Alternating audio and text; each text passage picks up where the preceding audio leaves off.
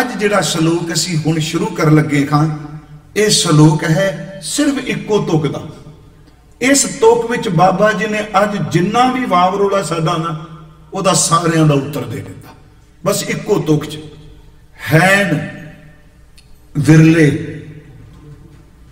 ਬੜੇ ਸੌਖੇ ਸ਼ਬਦ ਨੇ। ਹੈਨ ਦਾ ਅਰਥ ਮੌਜੂਦ ਨੇ, ਵਰਤਮਾਨ ਵਿੱਚ ਵੀ ਨੇ। ਹੈਨ ਦਾ ਅਰਥ ਹੈਗੇ ਨੇ ਕਿ ਸ਼ਬਦ ਅਸੀਂ ਉਹ ਖਬਰ ਸੀ ਹੈਨ, ਇਹ ਵਿਰਲੇ, ਥੋੜੇ ਥੋੜੇ ਨੇ, ਵਿਰਲੇ ਵਿਰਲੇ ਨੇ, ਭੀੜ ਨਹੀਂ ਉਹਨਾਂ ਦੀ, ਉਹ ਜ਼ਿਆਦਾ ਨਹੀਂ। ਹੈਨ ਵਿਰਲੇ, ਪਰ ਇਹ ਨਹੀਂ ਕਿਹਾ ਵੀ ਬੀਜ ਨਾਸ ਹੋ ਗਿਆ, ਹੈ ਹੀ ਨਹੀਂ। ਜਿਵੇਂ ਆਪਾਂ ਕਹਿੰਦੇ ਨਹੀਂ ਜੀ, ਕੋਈ ਕੋਈ ਗੁਰਮੁਖ ਨਹੀਂ, ਕੋਈ ਗੁਰਸਿੱਖ ਨਹੀਂ, ਇਹ ਨਹੀਂ ਮਾਰੇ ਨੇ ਕਿਹਾ। ਸਤਿਗੁਰੂ ਕਹਿੰਦੇ, ਇਸ ਗੱਲ ਤੋਂ ਇਨਕਾਰੀ ਨਾ ਹੋ ਕੇ ਇਬਾਦਤ ਵਾਲੇ ਨਹੀਂ ਹੈਨ ਵਿਰਲੇ ਟਾਵੇਂ ਟਾਵੇਂ ਨੇ, ਥੋੜੇ ਜਿਹੇ ਨੇ। ਅੱਗੇ ਫਿਰ ਇਸ ਗੱਲ ਦੀ ਫਿਰ ਵਿਆਖਿਆ ਕੀਤੀ ਰਿਪੀਟ ਕਰਕੇ ਨਾਹੀ ਘਣੇ ਨਾਹੀ ਦਾ ਅਰਥ ਨਹੀਂ। ਘਣੇ ਦਾ ਲਫ਼ਜ਼ੀ ਅਰਥ ਅਸੀਂ ਕਰਨੇ ਆ ਸੰਗਣੀ ਘਣੇ ਸ਼ਬਦ ਦਾ ਅਰਥ ਜ਼ਿਆਦਾ ਵੀ ਹੁੰਦਾ ਹੈ। ਇਹਦਾ ਅਰਥ ਹੋ ਗਿਆ ਕਿ ਹੈਨ ਵਿਰਲੇ, ਅਖਰੀ ਅਰਥ ਮੈਂ ਕੀਤੇ ਨੇ ਹੈਨ ਵਿਰਲੇ ਟਾਵੇਂ ਟਾਵੇਂ ਨਾ ਹੀ ਘਣੇ, ਜ਼ਿਆਦਾ ਨਹੀਂ। ਪਰ ਹੁਣ ਮੈਂ ਆਪਣੇ ਕੋਲੋਂ ਸ਼ਬਦ ਮਿਲਾ ਕੇ ਅਰਥ ਕਰਾਂਗੇ, ਇਹ ਤਾਂ ਅਖਰੀ ਅਰਥ ਨੇ ਹੈਨ ਵਿਰਲੇ, ਨਾ ਹੀ ਘਣੇ, ਪਰ ਇਹਦੇ ਵਿੱਚ ਤਾਂ ਸਪਿਰਚੁਅਲਿਟੀ ਦਾ ਜ਼ਿਕਰ ਹੀ ਨਹੀਂ ਕੀਤਾ। ਇਹ ਤੇ ਨਹੀਂ ਕਿਹਾ ਗੁਰਮੁਖ ਵਿਰਲੇ, ਸੰਤ ਵਿਰਲੇ। ਇਸ ਕਰਕੇ ਦਾਸ ਕਹਿੰਦਾ ਵੀ ਸਾਡੇ ਪੁਰਾਤਨ ਜਦੋਂ ਸੰਪਰਦਾਈ ਅਰਥ ਕਰਦੇ ਸਨ ਗੁਰਮੁਖ, ਉਹ ਸਭ ਤੋਂ ਪਹਿਲਾਂ ਅਖਰੀ ਅਰਥ ਉਹ ਹੀ ਲੈਂਦੇ ਸਨ ਜਿਹੜਾ ਸ਼ਬਦ ਲਿਖਿਆ ਹੋਇਆ ਹੈ। ਉਸ ਤੋਂ ਅੱਗੇ ਫਿਰ ਉਹ ਭਾਵ ਅਰਥ ਸਮਝਾਉਣ ਲਈ ਕਰਦੇ ਸਨ, ਬੇਨਤੀ ਕਰਾਂ ਖੈਣ ਵਿਰਲੇ ਇਹਦੇ ਅਰਥ ਕਰਾਂਗੇ ਗੁਰੂ ਨਾਨਕ ਸਾਹਿਬ ਬਖਸ਼ਿਸ਼ ਕਰ ਰਹੇ ਆ ਕਿ ਪਰਮਾਤਮਾ ਦੀ ਇਬਾਦਤ ਵਾਲੇ, ਪਰਮੇਸ਼ਵਰ ਦਾ ਚਿੰਤਨ ਕਰਨ ਵਾਲੇ, ਪਰਮਾਤਮਾ ਦੇ ਸਿਮਰਨ ਵਿੱਚ ਜੁੜੀਆਂ ਰੂਹਾਂ ਅੱਜ ਵੀ ਮੌਜੂਦ ਨੇ, ਪਰ ਭੀੜ 'ਚ ਨਹੀਂ, ਹੈਣ ਵਿਰਲੇ ਥੋੜੇ ਨੇ ਨਾ ਹੀ ਘਣੇ, ਉਹਨਾਂ ਦੀ ਗਿਣਤੀ ਜ਼ਿਆਦਾ ਨਹੀਂ ਥੋੜੇ ਥੋੜੇ ਅੱਗੇ ਅਸੀਂ ਬਾਣੀ ਦੇਖਾਂਗੇ। ਅੱਗੇ ਫਿਰ ਮਹਾਰਾਜ ਕਹਿੰਦੇ, ਫੈਲ। ਬੇਨਤੀ ਕਰਾਂ ਜੀ ਕੁਝ ਵਿਦਵਾਨਾਂ ਨੇ ਫੈਲ ਦਾ ਅਰਥ ਕੀਤਾ ਜੀ, ਵੱਧ ਫੈਲੀਆਂ। ਚਲੋ ਕੱਲ ਮੈਂ ਵੀ ਸ਼ਬਦ ਕਿਹਾ। ਜਦੋਂ ਇਸ ਫੈਲ ਸ਼ਬਦ ਦੇ ਅੰਦਰ ਅਸੀਂ ਹੋਰ ਡੁੰਗਾਈ ਜਾਈਏ, ਇਹਦਾ ਫੈਲ ਦਾ ਲਫ਼ਜ਼ੀ ਅਰਥ ਹੋਵੇਗਾ ਜੀ, ਜਿਹੜੇ ਬੰਦੇ ਵਿਖਾਵਾ ਕਰਦੇ ਆ। ਸਿਮਰਨ ਨਹੀਂ। ਮਹਾਰਾਜ ਜੋ ਸੱਚ ਕਹਿ ਰਿਹਾ, ਹੈਣ ਵਿਰਲੇ ਨਾ ਹੀ ਘਣੇ, ਬੜੇ ਘੱਟ ਨੇ ਪਰ ਹੈਣ ਜ਼ਰੂਰ। ਫੈਲ, ਫਕੜ, ਰਾੜੇ ਨਾਲ ਹੈ ਇਹਦਾ ਲਫ਼ਜ਼ੀ ਅਰਥ ਹੈ ਫਕੜ ਦਾ ਇੱਥੇ ਗੰਦਾ ਮੰਦਾ ਜ਼ਬਾਨ ਤੋਂ ਬੋਲਣਾ, ਫਜ਼ੂਲ ਬੋਲਣਾ। ਸੰਸਾਰ ਸੰਸਾਰ ਦਾ ਅਰਥ ਦੁਨੀਆ। ਹੈਣ ਵਿਰਲੇ ਨਾ ਹੀ ਘਣੇ ਫੈਲ ਫਕੜ ਸੰਸਾਰ। ਇਸ ਸੰਸਾਰ ਵਿੱਚ ਥੋੜੇ ਨੇ ਘਣੇ ਨਹੀਂ ਬੰਦਗੀ ਕਰਨ ਵਾਲੇ। ਪਰ ਸੱਚ ਇਹ ਵੇ ਪਖੰਡੀ, ਪਰਪੰਚੀ, ਗੰਦਮੰਦ ਬੋਲਣ ਵਾਲੇ। ਸੱਚਮੁੱਚ ਮਾੜੀਆਂ ਰੁਚੀਆਂ ਵਿੱਚ ਪ੍ਰਵਿਰਤ ਲੋਕ ਮਹਾਰਾਜ ਕਹਿੰਦੇ ਉਹਨਾਂ ਦਾ ਸੰਸਾਰ ਭਰਿਆ ਪਿਆ ਪਰ ਇਹ ਸੰਸਾਰ ਵਿੱਚ ਨਾਸ਼ ਨਹੀਂ ਹੋਇਆ, ਕਿਤੇ ਕਿਤੇ ਬੰਦਗੀ ਵਾਲੇ ਵੀ ਬੈਠੇ ਆ। ਇਹਦੇ ਅਖਰੀ ਅਰਥ ਪਹਿਲਾਂ ਤਾਂ ਕੀਤੇ ਆ, ਕਿਉਂਕਿ ਜਿਹੜੀ ਆਪਾਂ ਕਥਾ ਕਰਨੀ ਸਾਡਾ ਮਰਕਜ਼ ਕੀ ਆਪਾਂ ਕੀ ਬੋਲਣ ਜਾ ਰਹੇ ਹਾਂ? ਹੈਣ ਵਿਰਲੇ ਨਾਹੀ ਘਣੇ ਫੈਲ ਫਕੜ ਸੰਸਾਰ। ਗੁਰੂ ਗ੍ਰੰਥ ਸਾਹਿਬ ਦੀ ਪਵਿੱਤਰ ਗੁਰਬਾਣੀ ਚੋਂ ਜਦੋਂ ਇਹ ਬਚਨ ਦਾਸ ਦੇ ਸਾਹਮਣੇ ਆਏ, ਤੇ ਉਸ ਵਕਤ ਬਦੇ ਮਨ ਚ ਖਿਆਲ ਆਏ ਕਿ ਇਹ ਆਦ ਕਾਲ ਤੋਂ ਹੈ। ਇਹਨਾਂ ਵਿਚਲਿਤ ਵੀ ਨਹੀਂ ਹੋਣਾ ਚਾਹੀਦਾ, ਕਲਪਨਾ ਵੀ ਨਹੀਂ ਚਾਹੀਦਾ। ਉਸ ਦੀ ਰਚੀ ਕੋਈ ਰਚਨਾ ਵਿੱਚ ਇਹ ਦੋਨੋਂ ਚੀਜ਼ਾਂ ਪਹਿਲਾਂ ਤੋਂ ਵੀ ਨੇ, ਆਦ ਤੋਂ ਵੀ ਨੇ, ਅੱਜ ਵੀ ਨੇ।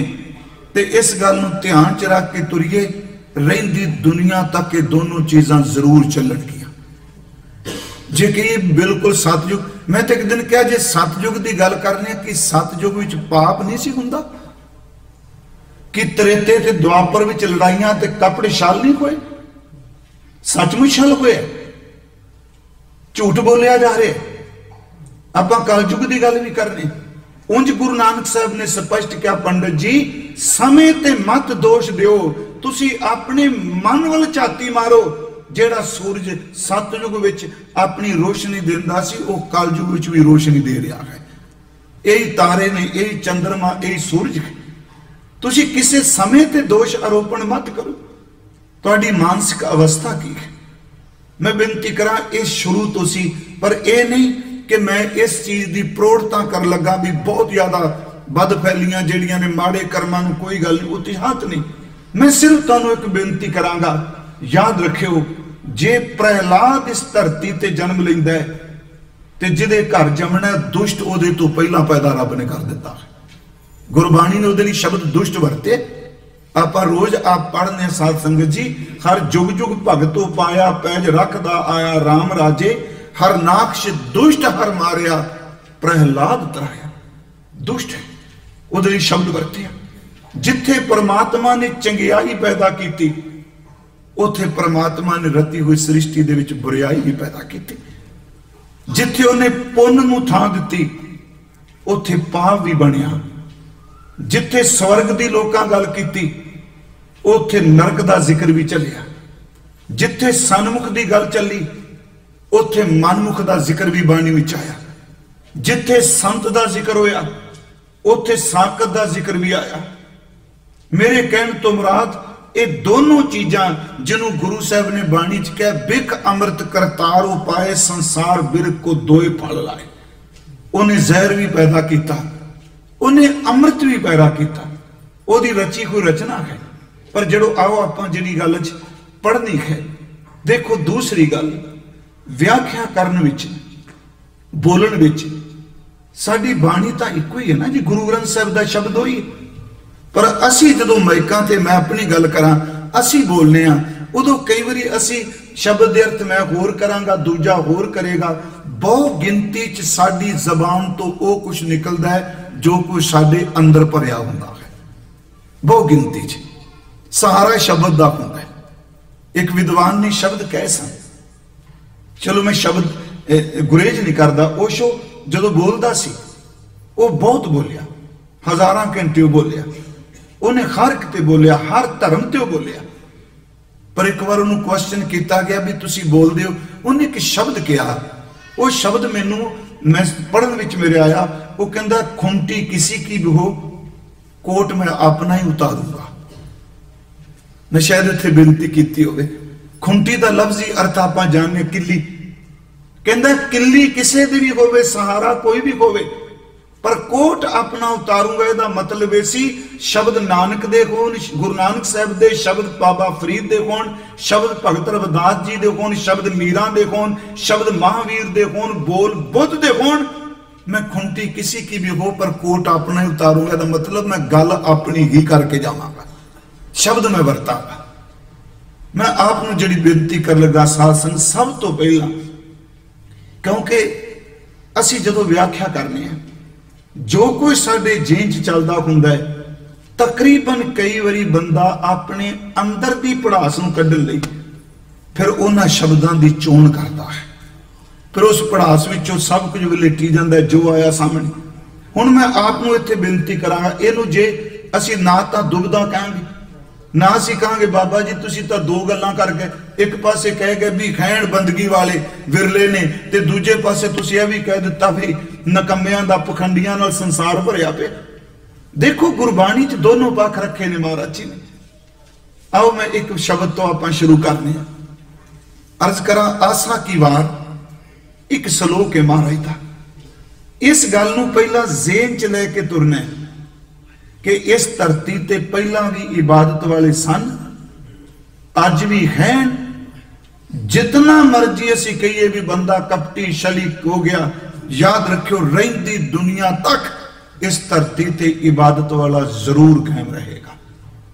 ਮੈਨੂੰ ਸਨਮਾਨਯੋਗ Baba Teja Singh ji double M A Baba Atar Singh ji ਦੇ ਸੋਬਤ ਨਾਲ ਬਾਹਰ ਆਏ ਇਹਨਾਂ ਇਲਾਕਿਆਂ ਚ ਹੋ ਕੇ ਗਏ। ਉਹਨਾਂ ਨੇ ਇੱਕ ਬੜਾ ਪਿਆਰਾ ਸ਼ਬਦ ਕਿਹਾ ਸੀ, ਜੀਵਨ ਲਿਖਦਿਆਂ। ਮੈਂ ਆਪ ਨੂੰ ਇੱਕ ਵਾਰੀ ਸ਼ੇਅਰ ਵੀ ਕੀਤਾ ਸੀ। ਆਪ ਨੂੰ ਪਤਾ ਹੈ ਕੱਲ ਵੀ ਅਸੀਂ ਗੱਲ ਕਰ ਰਹੇ ਸਾਂ। ਕਈ ਸਾਲ ਪਹਿਲਾਂ ਹੀ ਸੱਜਣ ਨੇ ਸਵਾਲ ਕੀਤਾ ਤੇ ਉਹ ਕਈ ਕਥਾ ਐਸੀਆਂ ਨੇ ਜਿਹੜੀਆਂ ਜ਼ਿੰਦਗੀ ਭਰ ਭੁੱਲਦੀਆਂ ਨੇ।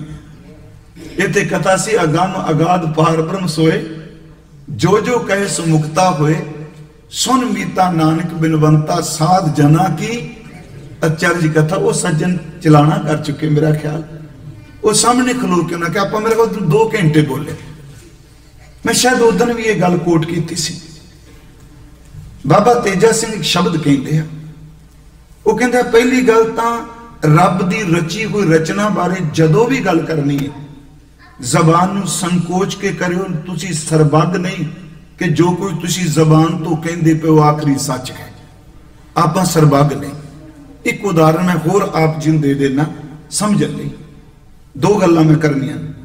ਕੱਲ ਵੀ ਬੁੱਧ ਦਾ ਮੈਂ ਜ਼ਿਕਰ ਕੀਤਾ। ਮਹਾਤਮਾ ਬੁੱਧ ਨੂੰ ਇੱਕ ਵਾਰੀ ਇੱਕ ਵਿਦਵਾਨ ਪੰਡਿਤ ਆਇਆ। ਬਹੁਤ ਵਿਦਵਾਨ ਸੀ। ਤੇ ਉਹ ਵਕਤੀ ਤੌਰ ਤੇ ਪ੍ਰਭਾਵ ਕਬੂਲ ਗਿਆ। ਇਹ ਮਨੁੱਖ ਦੀ ਫਿਤਰਤ ਹੈ ਜੀ। ਕੋਈ ਟਾਵੇਂ ਟਾਵੇਂ ਬੰਦੇ ਨੇ ਜਿਹੜੇ ਮਨੁੱਖੀ ਸ਼ਖਸੀਅਤ ਦਾ ਛੇਤੀ ਕੀਤਿਆਂ ਪ੍ਰਭਾਵ ਨਹੀਂ ਕਬੂਲਦੇ। ਅਕਸਰ ਬਾਹਰ ਦਾ ਐਸ਼ਵਰਜ ਦੇਖ ਕੇ ਬਾਹਰ ਦੀ ਚਟਕ ਪਟਕ ਦੇਖ ਕੇ ਮਨੁੱਖੀ ਮਨ ਪ੍ਰਭਾਵ ਕਿਤੇ ਨਾ ਕਿਤੇ ਕਬੂਲ ਹੀ ਜਾਂਦਾ ਹੈ। ਕੋਈ ਟਾਵਾ ਟਾਵਾ। ਉਹਨੇ ਮਹਾਤਮਾ ਬੁੱਧ ਨੂੰ ਦੋ ਇੱਕ ਸ਼ਬਦ ਕਿਹਾ। ਉਹ ਸ਼ਬਦ ਸੀ ਕਿ ਆਪ ਜੈਸਾ ਨਾ ਕੋ ਥਾ, ਨਾ ਹੈ, ਨਾ ਹੋਗਾ ਮਹਾਤਮਾ ਬੁੱਧ ਨੇ ਸੁਣਿਆ ਤੇ ਮੁਸਕਰਾ ਪਿਆ ਸੁਣੋ ਅਗਲੀ ਗੱਲ। ਉਹਨੇ ਗੱਲ ਸ਼ਬਦ ਕੀ ਕਹਿਣ ਲੱਗੇ, ਪੰਡਿਤ ਨੂੰ, ਕਹਿੰਦੇ ਨੇ ਅਨਪੜ ਬੰਦਾ ਝੂਠ ਬੋਲੇ। ਜਿਹਨੂੰ ਸਮਝ ਕੋਈ ਨਹੀਂ। ਉਸ ਬਾਰੇ ਕਹਾਂਗੇ ਵੀ ਪਾਪ ਕੀਤਾ ਤੇ ਜਿਨੇ ਇੰਨੇ ਗ੍ਰੰਥ ਪੜ੍ਹੇ ਹੋਣ ਤੇ ਉਹ ਕੁਫਰ ਤੋਲਦਾ ਹੈ ਤੇ ਆਪਾਂ ਕਹਾਂਗੇ ਇਸ ਬੰਦੇ ਨੇ ਮਹਾ ਪਾਪ ਕੀਤਾ। ਉਸ ਦੇ ਮਨ 'ਚ ਇਹ ਸੀ ਵੀ ਖੁਸ਼ ਹੋਣਗੇ। ਮੈਂ ਆਪ ਜੀ ਨੂੰ ਕਿਹਾ, ਆਪ ਜੈਸਾ ਨਾ ਕੋ ਥਾ, ਨਾ ਕੋ ਹੈ, ਨਾ ਹੋਗਾ ਝੂਠੀ ਉਸਤਤ। ਤੇ ਸਭ ਤੋਂ ਜ਼ਿਆਦਾ ਸਾਡੀ ਸੁਰਤ ਨੂੰ ਜਿਹੜੀ ਸੰਗਲ ਪਾ ਕੇ ਦੋ ਚੀਜ਼ਾਂ ਬੈਠੀਆਂ ਨੇ, ਇੱਕ ਝੂਠੀ ਸਿਫਤ ਤੇ ਦੂਜੀ ਨਿੰਦਿਆ, ਇਹ ਸਾਡੀ ਸੁਰਤ ਨੂੰ ਅੰਜ ਜਿਕੜ ਕੇ ਬੈਠੀਆਂ ਨੇ, ਇਹ ਧਿਆਨ ਵਿੱਚ ਵੀ ਆਪਣਾ ਪੂਰਾ ਕੰਮ ਕਰੀ ਜਾਂਦੀਆਂ ਉਹਨੇ ਕਿਹਾ ਪੰਡਿਤ ਹੋ ਕੇ ਮਹਾਪਾਪ ਝੂਠ ਬੋਲੇ ਉਹ ਥੋੜਾ ਜਿਹਾ ਢਿੱਲਾ ਪੈ ਕਹਿੰਦਾ, ਜੀ ਕਿਉਂ? ਸੁਣਿਓ ਉਹਨੇ ਸ਼ਬਦ ਕਹਿ ਕਹਿਣ ਲੱਗੇ, ਕਿਆ ਆਪ ਤ੍ਰੈਕਾਲਦਰਸ਼ੀ ਹੈ? ਪੰਡਿਤ ਨੂੰ ਪੁੱਛਦੇ ਨੇ, ਕਿਆ ਆਪ ਤ੍ਰੈਕਾਲਦਰਸ਼ੀ ਹੈ? ਕਹਿੰਦਾ, ਨਹੀਂ। ਕਹਿੰਦਾ, ਮੈਂ ਤਾਂ ਪੁੱਛ ਰਿਹਾ ਤੁਸੀਂ ਤਿੰਨ ਕਾਲਾਂ ਦਾ ਜ਼ਿਕਰ ਕੀਤਾ, ਨਾ ਕੋ ਥਾ, ਨਾ ਕੋ ਹੈ, ਨਾ ਹੋਗਾ ਕੀ ਤੂੰ ਭੂਤ ਭਵਿੱਖ ਤੇ ਵਰਤਮਾਨ ਦੀ ਪੂਰੀ ਜਾਣਕਾਰੀ ਰੱਖਣਾ ਮੇਰੇ ਤੋਂ ਪਹਿਲਾਂ ਜਿੰਨੇ ਬੁੱਧ ਹੋਏ, ਕੀ ਤੈਨੂੰ ਸਾਰਿਆਂ ਦਾ ਪਤਾ ਹੈ ਕਿ ਮੇਰੇ ਤੋਂ ਉੱਚੇ ਸਨ ਕਿ ਨੀਵੇਂ? ਕਿ ਤੈਨੂੰ ਇਸ ਧਰਤੀ ਦੇ ਉੱਤੇ ਕਿੰਨੇ ਬੁੱਧ ਨੇ ਇਸ ਵੇਲੇ, ਜਿਹੜੇ ਬੁੱਧ ਤਵ ਨੂੰ, ਗਿਆਨ ਨੂੰ ਪ੍ਰਾਪਤ ਨੇ? ਕੀ ਤੈਨੂੰ ਪਤਾ ਹੈ? ਤੀਸਰਾ ਸ਼ਬਦ ਕਿਹਾ, ਮੈਨੂੰ ਸੱਚ ਦੱਸ, ਤੈਨੂੰ ਆਉਣ ਵਾਲੇ ਵਕਤ ਦੀ ਪੂਰੀ ਜਾਣਕਾਰੀ ਹੈ? ਕਹਿੰਦਾ, ਨਹੀਂ। ਇੱਥੇ ਗੱਲ ਮਹਾਤਮਾ ਬੁੱਧ ਨੇ ਕਹੀ, ਨਹੀਂ। ਰੱਬ ਦੀ ਇਹ ਕੁਦਰਤ ਇਸ ਰਚੀ ਹੋਈ ਸ੍ਰਿਸ਼ਟੀ ਵਿੱਚ ਪਹਿਲਾਂ ਵੀ ਗਿਆਨਵਾਨ ਬਹੁਤ ਹੋਏ, ਅੱਜ ਵੀ ਮੇਰੇ ਤੋਂ ਬਿਨਾ ਵੀ ਮੌਜੂਦ ਨੇ ਤੇ ਚਿੱਤੇ ਰੱਖੀ ਆਉਣ ਵਾਲੇ ਸਮੇਂ ਵਿੱਚ ਵੀ ਮੌਜੂਦ ਰਹਿਣਗੇ। ਮੇਰੇ ਕਹਿਣ ਤੋਂ ਮੁਰਾਦ, ਕੋਈ ਬੰਦਾ ਸਰਬੱਗ ਨਹੀਂ ਇਹ ਕਹਿ ਵੀ ਨਹੀਂ ਹੋ ਸਕਦਾ। ਬਸ ਇਹੀ ਸਾਡੀ ਪ੍ਰੋਬਲਮ ਹੈ ਅਸੀਂ ਆਪਣਾ ਜੋ ਕੁਝ ਸਿੱਖਿਆ ਮੈਂ ਆਪਣੀ ਗੱਲ ਕਰ ਰਿਹਾ, ਮੈਂ ਆਪਣੇ ਸਿੱਖੇ ਹੋਏ ਫਰੇਮ ਵਿੱਚ ਕਹਿਣਾ ਕਿ ਜਿਹੜੀ ਚੀਜ਼ ਨੌਲੇਜ ਮੈਨੂੰ ਪਤਾ ਹੈ, ਬਸ ਇਹ ਗਿਆਨ ਇਸ ਤੋਂ ਬਾਹਰ ਨਿਕਲੂ, ਗਿਆਨ ਲੈ ਸਾਧ ਸੰਗਤ, ਜਦੋਂ ਗਿਆਨ ਖੰਡ ਆਪਾਂ ਪੜ੍ਹਨੇ ਗੁਰੂ ਸਾਹਿਬ ਸਾਰੀਆਂ ਦੀਵਾਰਾਂ ਤੋੜ ਦਿੰਦੇ ਨਾ। ਸ਼ਾਸਤਰ ਦੀ ਦੀਵਾਰ ਰਹਿਣ ਦਿੰਦੇ ਨੇ, ਨਾ ਧਰਮ ਦੀ ਸੰਪਰਦਾਇਕ ਦੀਵਾਰ ਰਹਿਣ ਦਿੰਦੇ ਨੇ। ਇਵਨ ਕਿ ਖਿਮਾ ਕਰਿਓ, ਜਿੰਨੀ ਮਰਜ਼ੀ ਵਿਗਿਆਨ ਤਰੱਕੀ ਕਰ ਜਾਏ ਗੁਰੂ ਉਸ ਦੀਵਾਰ ਨੂੰ ਵੀ ਤੋੜ ਕੇ ਕਹਿੰਦਾ ਬਹੁਤ ਕੁਛ ਅੱਗੇ। ਪਾਠ ਕਰੀਏ ਆਪਾਂ, ਧਰਮ ਖੰਡ ਕਾ ਏਕੋ ਧਰਮ, ਗਿਆਨ ਖੰਡ ਕਾ ਆਖੋ ਕਰਮ ਆਖੋ ਕਰਮ। ਕੇਤੇ ਪਵਨ ਪਾਣੀ ਵੈ ਸੰਤਰ, ਕੀਤੇ ਕਾਨ ਵਿਖੇਸ਼ ਕੇਤੇ ਬਰਮੇ ਘਾਟ ਘੜੀਆਂ ਰੂਪ ਰੰਗ ਕੇ ਵੇਸ਼, ਕੀਤੀਆਂ ਕਰਮ ਭੂਮੀ ਮੇਰ, ਕੀਤੇ ਕੀਤੇ ਤੂੰ। ਪਰ ਗੁਰਬਾਣੀ ਤਾਂ ਕਹਿੰਦੀ ਇੱਕ ਧਰੂ ਹੈ। ਉਹ ਉਤਾਨ ਪਰ ਰਾਜੇ ਦਾ ਬੱਚਾ ਹੈ। ਆਏ ਜੇ ਸਤਿਗੁਰੂ ਜੀ ਦੇ ਘਰ ਦੀ ਵਿਸ਼ਾਲਤਾ, ਪਰਮਾਤਮਾ ਦੀ ਰਚੀ ਹੋਈ ਰਚਨਾ ਵਿੱਚ ਵੀ ਕਹਿ ਰਿਹਾ ਕਿ ਬੰਦਿਆ, ਤੂੰ ਰੱਬ ਬਾਰੇ ਅੰਤ ਪਾਣਾ ਬਹੁਤ ਦੂਰ ਦੀ ਗੱਲ। ਜੋ ਕੁਝ ਪਰਮਾਤਮਾ ਦੀ ਰਚਨਾ ਵਿੱਚ ਰਚਿਆ ਗਿਆ ਹੈ, ਤੂੰ ਉਸ ਦੀ ਰਚੀ ਹੋਈ ਰਚਨਾ ਵਿੱਚ ਵੀ ਦਾਵਾ ਨਾ ਪੇਸ਼ ਕਰ, ਬਸੇ ਨਾ ਕੁਝ ਕਹਿ। ਸਤਿਗੁਰੂ ਸ਼ਬਦ ਵਰਤ ਰਹੇ। ਗਿਆਨ ਕਾਂਡ ਕਾ ਆਖੋ ਕਰਮ ਕੀਤੇ, ਪਵਨ ਪਾਣੀ ਵਸੰਤਰ ਕੀਤੇ, ਕਾਨ ਮਿਕੇਸ਼ ਕੀਤੇ ਬ੍ਰਹਮੇ ਕਾਰਤਰ ਕੜੀਆਂ ਰੂਪ ਰੰਗ ਕੇ ਵੇਸ। ਕੀਤੀਆਂ ਕਰਮ ਭੂਮੀ ਮੇਰ ਕੀਤੇ ਕੀਤੇ ਧੂਪ ਦੇਸ਼ ਕੀਤੇ ਇੰਦ ਚੰਦ, ਸੂਰ ਕੀਤੇ ਕੀਤੇ ਮੰਡਲ ਦੇਸ਼ ਕੀਤੇ, ਸਿੱਧ ਬੁੱਧ ਨਾਥ ਕੀਤੇ। ਹਾਲਾਂਕਿ 84 ਸਿੱਧ ਮੰਨਦੇ ਹਿੰਦੁਸਤਾਨ ਵਿੱਚ। ਮਹਾਰਾਜ ਕਹਿੰਦੇ ਨੇ 84 ਦੀ ਗਿਣਤੀ ਨਾ ਕਰ। ਕੀਤੇ ਸਿੱਧ ਬੁੱਧ ਨਾਥ, ਕੀਤੇ ਕੀਤੇ ਦੇਵੀ ਵੇਸ। ਕੀਤੀਆਂ ਖਾਣੀ, ਕੀਤੀਆਂ ਬਾਣੀ, ਕੀਤੇ ਪਾਤ ਨਿੰਦ, ਕੀਤੀਆਂ ਸੁਰਤੀ ਸੇਵਕ, ਕੀਤੇ ਨਾਨਕ ਅੰਤ ਨਾ। ਅੰਤ ਉਹਦੀ ਰਚਨਾ ਦਾ ਕੋਈ ਅੰਤ ਨਹੀਂ। ਸਿਰਫ ਇੱਕ ਬੇਨਤੀ ਜਿਹੜੀ ਸ਼ੁਰੂਆਤ ਕੀਤੀ ਹੈ ਮੈਂ, ਇਹ ਗੱਲ ਬਾਬਾ ਤੇਜਾ ਸਿੰਘ ਬੜੀ ਸੋਹਣੀ ਕਹਿੰਦੇ ਸਨ। ਕਹਿੰਦੇ ਸਨ, ਹਜ਼ੂਰ ਦੇ ਚਰਨਾਂ 'ਚ ਖਲੋ ਕੇ ਉਂਝ ਵੀ ਨਹੀਂ, ਕਦੀ ਇਹ ਸ਼ਬਦ ਨਾ ਕਹੋ ਕਿ ਅੱਜ ਕੋਈ ਗੁਰਸਿੱਖ ਨਹੀਂ, ਕੋਈ ਜਪਣ ਵਾਲਾ ਨਹੀਂ, ਹਰ ਪਾਸੇ ਝੂਠ ਹੈ। ਬੜੀ ਸੋਹਣੀ ਉਹਨਾਂ ਉਦਾਹਰਨ ਦਿੱਤੀ, ਪੜ੍ਹੇ ਲਿਖੇ ਸੱਜਣ ਸਨ। ਕਹਿੰਦੇ ਸਨ, ਤੁਸੀਂ ਕਲਾਸ ਵਿੱਚ ਜਾ ਕੇ ਵਿਦਿਆਰਥੀਆਂ ਦੇ ਸਾਹਮਣੇ ਟੀਚਰ ਨੂੰ, ਉਸਤਾਦ ਨੂੰ, ਅਧਿਆਪਕ ਨੂੰ, ਪ੍ਰੋਫੈਸਰ ਨੂੰ ਖੜਿਆਂ ਕਰਕੇ ਉਹਦੇ ਸਾਹਮਣੇ ਬੋਲ ਕੇ ਕਹੋ, ਇਸ ਵਿਦਿਆਰਥੀ, ਇਸ ਕਲਾਸ ਦੇ, ਇਸ ਸ਼੍ਰੇਣੀ ਦੇ ਜਿੰਨੇ ਵੀ ਬੱਚੇ ਨੇ ਸਾਰੇ ਨਲਾਇਕ ਮਾਂ ਨਲਾਇਕ ਕਹਿੰਦੇ, ਬੱਚੇ ਸਹਿਜ ਬੋਧਕ ਤੇ ਇਸ ਗੱਲ ਨੂੰ ਮਹਿਸੂਸ ਨਾ ਕਰਨ, ਪਰ ਪੜਾਉਣ ਵਾਲਾ ਟੀਚਰ ਸ਼ਰਮਸਾਰ ਹੋ ਜਾਏਗਾ। ਕਿ ਕੀ ਮੈਂ ਇਸ ਕਲਾਸ ਵਿੱਚ ਇੱਕ ਬੱਚਾ ਵੀ ਲਾਇਕ ਨਹੀਂ ਬਣਾ ਸਕਿਆ? ਕਿ ਮੇਰੀ ਇਸ ਸ਼੍ਰੇਣੀ ਵਿੱਚ ਕੋਈ ਬੱਚਾ ਵੀ ਲਾਇਕ ਨਹੀਂ? ਉਹ ਗੱਲ ਕਹਿੰਦੇ ਸਨ, ਗੁਰਮੁਖ ਗੱਲ ਬੜੀ ਜੱਚੀ ਮੈਨੂੰ। ਕਹਿੰਦੇ ਸਨ ਕਿ ਗੁਰੂ ਗ੍ਰੰਥ ਸਾਹਿਬ ਦਾ ਸ਼ਬਦ ਜੁਗੋ ਜੁਗ ਅਟਲ ਹੈ।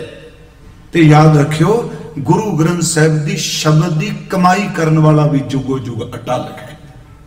ਪਹਿਲਾਂ ਵੀ ਸਨ, ਅੱਜ ਵੀ ਹੈ ਅਗਾਂ ਵੀ ਰਹਿਣਗੇ। ਗੁਰੂ ਸਾਹਿਬ ਨੇ ਸ਼ਬਦ ਵਰਤਿਆ ਜੀ। ਹੈਣ ਸਹੀ, ਪਰ ਵਿਰਲੇ ਵਿਰਲੇ ਆ। ਚਲੋ ਮੈਂ ਉਦਾਹਰਨ ਦਿਆਂ ਕਿ ਪੱਥਰ ਬਹੁਤ ਮਿਲਣਗੇ, ਬੜੇ ਮਿਲਣਗੇ, ਪਰ ਪਾਰਸ ਬਹੁਤ ਘੱਟ ਮਿਲੇਗਾ। ਹੈ ਜ਼ਰੂਰ, ਮਹਾਰਾਜ ਨੇ ਕਿਹਾ, ਜੇ ਬਾਣੀ ਤੇ ਕਹੇ, ਪੱਥਰ ਬਹੁਤ ਮਿਲਣਗੇ, ਹਰ ਪੱਥਰ ਪਾਰਸ ਨਹੀਂ ਹੁੰਦਾ, ਹਰ ਚਿੱਟੇ ਰੰਗ ਵਾਲਾ ਹੰਸ ਨਹੀਂ ਹੁੰਦਾ ਹਰ ਕਾਲੇ ਰੰਗ ਵਾਲੀ, ਕੂਕਣ ਵਾਲੀ, ਦਰਦ ਭਦੇ, ਨਗਮੇ ਗਾਉਣ ਵਾਲੀ, ਕੋਇਲ ਨਹੀਂ ਹੁੰਦੀ, ਪਰ ਹੁੰਦੇ ਹੈ ਟਾਵੇਂ ਟਾਵੇਂ। ਕੋਇਲ ਹੈ ਕਿਤੇ? ਹੰਸ ਹੈ ਕਿਤੇ? ਪੂਰੀ ਆ ਜਿਹੜਾ ਇੰਨੇ ਰੁੱਖ ਅਸੀਂ ਦੇਖਨੇ ਆ, ਚੰਦਨਾ ਦੇ ਜੰਗਲ ਥੋੜਾ ਹੁੰਦੇ ਆ ਜੀ। ਚੰਦਨ ਹੈ, ਪਰ ਟਾਵਾ ਟਾਵਾ ਹੈ। ਪਾਰਸ ਹੈ, ਕਿਤੇ ਕਿਤੇ ਹੈ। ਸਾਰਿਆਂ ਸੱਪਾਂ ਦੇ ਸਿਰ ਵਿੱਚ ਮਣੀ ਨਹੀਂ ਹੁੰਦੀ ਕਿਤੇ ਕਿਤੇ ਮਿਲੇਗੀ। ਸੱਚ ਇਹ ਵੇ ਬੇਸ਼ਕੀਮਤੀ ਚੀਜ਼ ਜਿਹੜੀ ਹੈ ਦੁਨੀਆ ਵਿੱਚ ਬਹੁਤ ਵਿਰਲੀ ਵਿਰਲੀ ਲੱਭਦੀ ਹੈ। ਪਰ ਬੇਸ਼ਕੀਮਤੀ ਚੀਜ਼ ਦੀ ਨਕਲ ਤੁਹਾਨੂੰ ਬਾਜ਼ਾਰ ਭਰੇ ਹੋਏ ਮਿਲ ਜਾਣਗੇ। ਨਕਲ ਦੇ ਬਾਜ਼ਾਰ ਮਿਲਣਗੇ, ਪਰ ਅਸਲ ਕਿਤੇ ਟਾਵਾ ਟਾਵਾ ਪਿਆ ਹੋਵੇਗਾ। ਅੱਜ ਜਦੋਂ ਮਹਾਰਾਜ ਜੀ ਦਾ ਸ਼ਬਦ ਆਇਆ, ਪਹਿਲੀ ਮੈਂ ਬੇਨਤੀ ਕਰਾਂਗਾ, ਹੈਣ ਵਿਰਲੇ ਨਹੀਂ ਕਰੇ ਜ਼ਰੂਰ ਨੇ ਪਰ ਟਾਵੇਂ ਟਾਵੇਂ ਨੇ। ਕੈਸੇ ਜੀ? ਫਿਰ ਵਿਰਲੇ ਦੀ ਵਿਆਖਿਆ ਸਾਨੂੰ ਗੁਰੂ ਗ੍ਰੰਥ ਸਾਹਿਬ ਚ ਲੱਭਣੀ ਪਏਗੀ। ਜਿਵੇਂ ਹੁਣ ਮੈਂ ਕੀਤਾ ਨਾ ਜੀ, ਫੈਲ ਪਕੜ ਸੰਸਾਰ ਤਾਂ ਸਿੱਧਾ ਹੀ ਆ ਗਿਆ। ਗੰਦਮੰਦ ਬੋਲਣ ਵਾਲੇ ਜਾਂ ਸ਼ਬਦ ਵਰਤਿਆ ਵੀ ਪਖੰਡੀ। ਹੈਣ ਵਿਰਲੇ ਨਾ ਹੀ ਘਣੇ, ਇਹਦੇ ਵਿੱਚ ਇਹ ਨਹੀਂ ਦੱਸਿਆ ਗੁਣਾ ਵਾਲੇ। ਇਸ ਵਿਰਲੇ ਸ਼ਬਦ ਦੀ ਕਥਾ ਕਰ ਲਈ ਸਾਨੂੰ ਫਿਰ ਗੁਰੂ ਗ੍ਰੰਥ ਸਾਹਿਬ ਜੀ ਤੋਂ ਪੁੱਛਾਂਗੇ, ਆਓ ਮਹਾਰਾਜ ਦੇ ਇੱਕ ਬਚਨ ਤੋਂ ਅਸੀਂ ਸ਼ੁਰੂਆਤ ਕਰਨੇ ਆ। ਖੈਣ ਜ਼ਰੂਰ, ਪਰ ਵਿਰਲੇ ਵਿਰਲੇ ਨੇ, ਟਾਵੇਂ ਟਾਵੇਂ ਨੇ, ਗੁਰੂ ਸਾਹਿਬ ਦਾ ਸ਼ਬਦ ਕੈਸੇ ਜੀ ਵਿਰਲੇ ਕੌਣ ਫਿਰ ਮਹਾਰਾਜ ਉਸ ਵਿਰਲੇ ਦੀ ਵਿਆਖਿਆ ਚ ਬਚਨ ਕਰਦੇ ਆ ਅੰਤਰ ਗੁਰ ਆਰਾਧਨਾ ਜਿਹਵਾ ਜਪ ਗੁਰ ਨਾਮ ਦੇਖਿਓ ਇਹਦੇ ਅਰਥ ਹੋਣਗੇ ਹੈਣ ਵਿਰਲੇ ਅੰਤਰ ਆਤਮੇ ਆਪਣੇ ਗੁਰੂ ਨੂੰ ਆਰਾਧਨਾ ਇਹਦਾ ਮਤਲਬ ਕਿ ਤੁਰ ਅੰਦਰ ਤੋਂ ਉਹ ਸੱਚੇ ਗੁਰਮਖੋ ਸਾਡੇ ਗਿਆਨ ਇੰਦਰੀ ਨੇ ਅੱਖਾਂ ਦੇਖਦੀਆਂ ਨੇ ਜ਼ਬਾਨ ਬੋਲਦੀ ਹਕੀਕਤ ਵਿੱਚ ਰੂਹਾਨੀਅਤ ਦਾ ਸਬੰਧ ਸਾਡੇ ਤੁਰ ਅੰਦਰ ਨਾਲ ਹੈ। ਆਪ ਜ਼ਬਾਨ ਨਾਲ ਨਾਮ ਹੀ ਬੋਲੋ, ਜੇ ਫੁਰਨੇ ਦੇ ਰੂਪ ਵਿੱਚ ਵੀ ਗੁਰੂ ਦਾ ਚਿੰਤਨ ਹੁੰਦਾ ਪਿਆ, ਗੁਰੂ ਨੂੰ ਉਹ ਵੀ ਸਵੀਕਾਰ ਹੈ। ਆਪ ਖਿਆਲ ਦੇ ਰੂਪ ਚੇਤੇ ਕਰ ਰਹੇ ਹੋ, ਅੰਤਰ ਤੁਰ ਅੰਤਰ। ਇਸੇ ਕਰਕੇ ਦਾਸ ਇੱਕ ਦਿਨ ਅਰਜ਼ ਕੀਤੀ, ਗੁਰੂ ਅਮਰਦਾਸ ਜੀ ਨੇ ਜਦੋਂ ਸਨਮੁਖ ਸਿੱਖ ਦੀ ਵਿਆਖਿਆ ਕੀਤੀ ਨਾ ਜੀ, ਉਸ ਵਕਤ ਗੁਰੂ ਜੀ ਨੇ ਠੀਕ ਹੈ ਸਨਮੁਖ ਦੇ ਅਰਥ ਸਾਰੇ ਕੋਸ਼ੇ ਕਹਿੰਦੇ ਜਿਹੜਾ ਸਾਹਮਣੇ ਬੈਠਾ ਹੈ। ਪਰ ਗੁਰੂ ਸਾਹਿਬ ਇਹ ਨਹੀਂ ਅਰਥ ਕਰਦੇ। ਗੁਰੂ ਸਾਹਿਬ ਸ਼ਬਦ ਵਰਤਿਆ ਜੇ ਕੋ ਸਿੱਖ ਗੁਰੂ ਸੇਤੀ ਸਨਮੁਖ ਹੋਵੇ ਹੋਵੇ ਤਾਂ ਸਨਮੁਖ ਸਿੱਖ ਕੋਈ ਜੀਉ ਹੋ ਉੱਥੇ ਮਹਾਰਾਜ ਜੀਉ ਵਰਤ ਰਿਹਾ ਇਕੱਲੇ ਬੋਡੀ ਦੇ ਤੌਰ ਤੇ ਨਹੀਂ। ਇਹ ਹੈ ਧੁਰ ਅੰਦਰ। ਹੋਵੇ ਤਾਂ ਸਨਮੁਖ ਸਿੱਖ ਕੋਈ ਜੀਉ ਰਹੇ ਗੁਰਨਾਲੇ ਗੁਰ ਕੇ ਚਰਨ ਹਿਰਦੈ ਤੇ ਆਏ। ਗੁਰਮੁਖ ਇਹ ਸ਼ਬਦ ਤਿੰਨੇ ਚੇਤੇ ਰੱਖਿਓ, ਤਿੰਨ ਸ਼ਬਦ ਨੇ ਵਿੱਚ ਸਨਮੁਖ ਦੀ ਪ੍ਰਭਾਵਤ ਪ੍ਰਭਾਸ਼ਾ ਲਈ ਇੱਕ ਤਾਂ ਸ਼ਬਦ ਵਰਤਿਆ ਵੀ ਜਿਉ ਤੁਰ ਅੰਦਰ ਤੋਂ ਨਾਲ ਹੈ। ਦੂਜਾ ਸ਼ਬਦ ਵਰਤਿਆ ਹਿਰਦੇ ਵਿੱਚ ਧਿਆਏ ਜੇ ਕੋ ਸੇ ਗੁਰੂ ਸੇਤੀ ਸਨਮੁਖ ਹੋਵੇ ਹੋਵੇ ਸਨਮੁਖ ਸੇ ਕੋਈ ਜਿਉ ਰਹੇ ਗੁਰ ਨਾਲੇ, ਗੁਰ ਕੇ ਚਰਨ ਹਿਰਦੈ ਧਿਆਏ ਅੰਤਰ ਆਤਮੈ ਸੰਭਾਲੇ, ਅੰਤਰ ਆਤਮੈ ਅੰਤਰ ਆਤਮੈ ਸੰਭਾਲੇ। ਆਪ ਛੱਡ, ਸਦਾ ਰਹਿ ਪਰਨੇ ਅੰਦਰੋਂ ਮੈਂ ਛੱਡੇ, ਆਪਣਾ ਆਪਾ ਤਿਆਗ ਦੇ ਆਪ ਛੱਡ, ਸਦਾ ਰਹਿ ਪਰਨੇ, ਗੁਰ ਬਿਨ ਅਵਰ ਨ ਜਾਣੈ ਕੋਏ, ਕਹਿ ਨਾਨਕ ਸੋ ਸੰਤੋ ਸੋ ਸਿੱਖ ਸਨਮੁਖ ਜੀਉ ਅੰਤਰ। ਸਾਰੀ ਸਾਰੀ ਬਖਸ਼ਿਸ਼ ਅੰਤਰ ਦੀ। ਹੈ। ਜੇ ਅਸੀਂ ਬਾਹਰ ਮੁਖੀ ਵੀ ਦੇਖਨੇ ਪਿਆ ਉਹਦਾ ਮਤਲਬ ਇਹ ਸਾਨੂੰ ਅੰਦਰ ਡੁੱਬਣ ਦੀ ਜਾਚ ਆ ਜਾਏ। ਜੇ ਬਾਹਰੋਂ ਬੋਲਨੇ ਪਏ ਦਾ ਮਤਲਬ ਹੈ ਕਿ ਅੰਦਰ ਚੁੱਪ ਸਿਮਰਨ ਚੱਲ ਪਵੇ।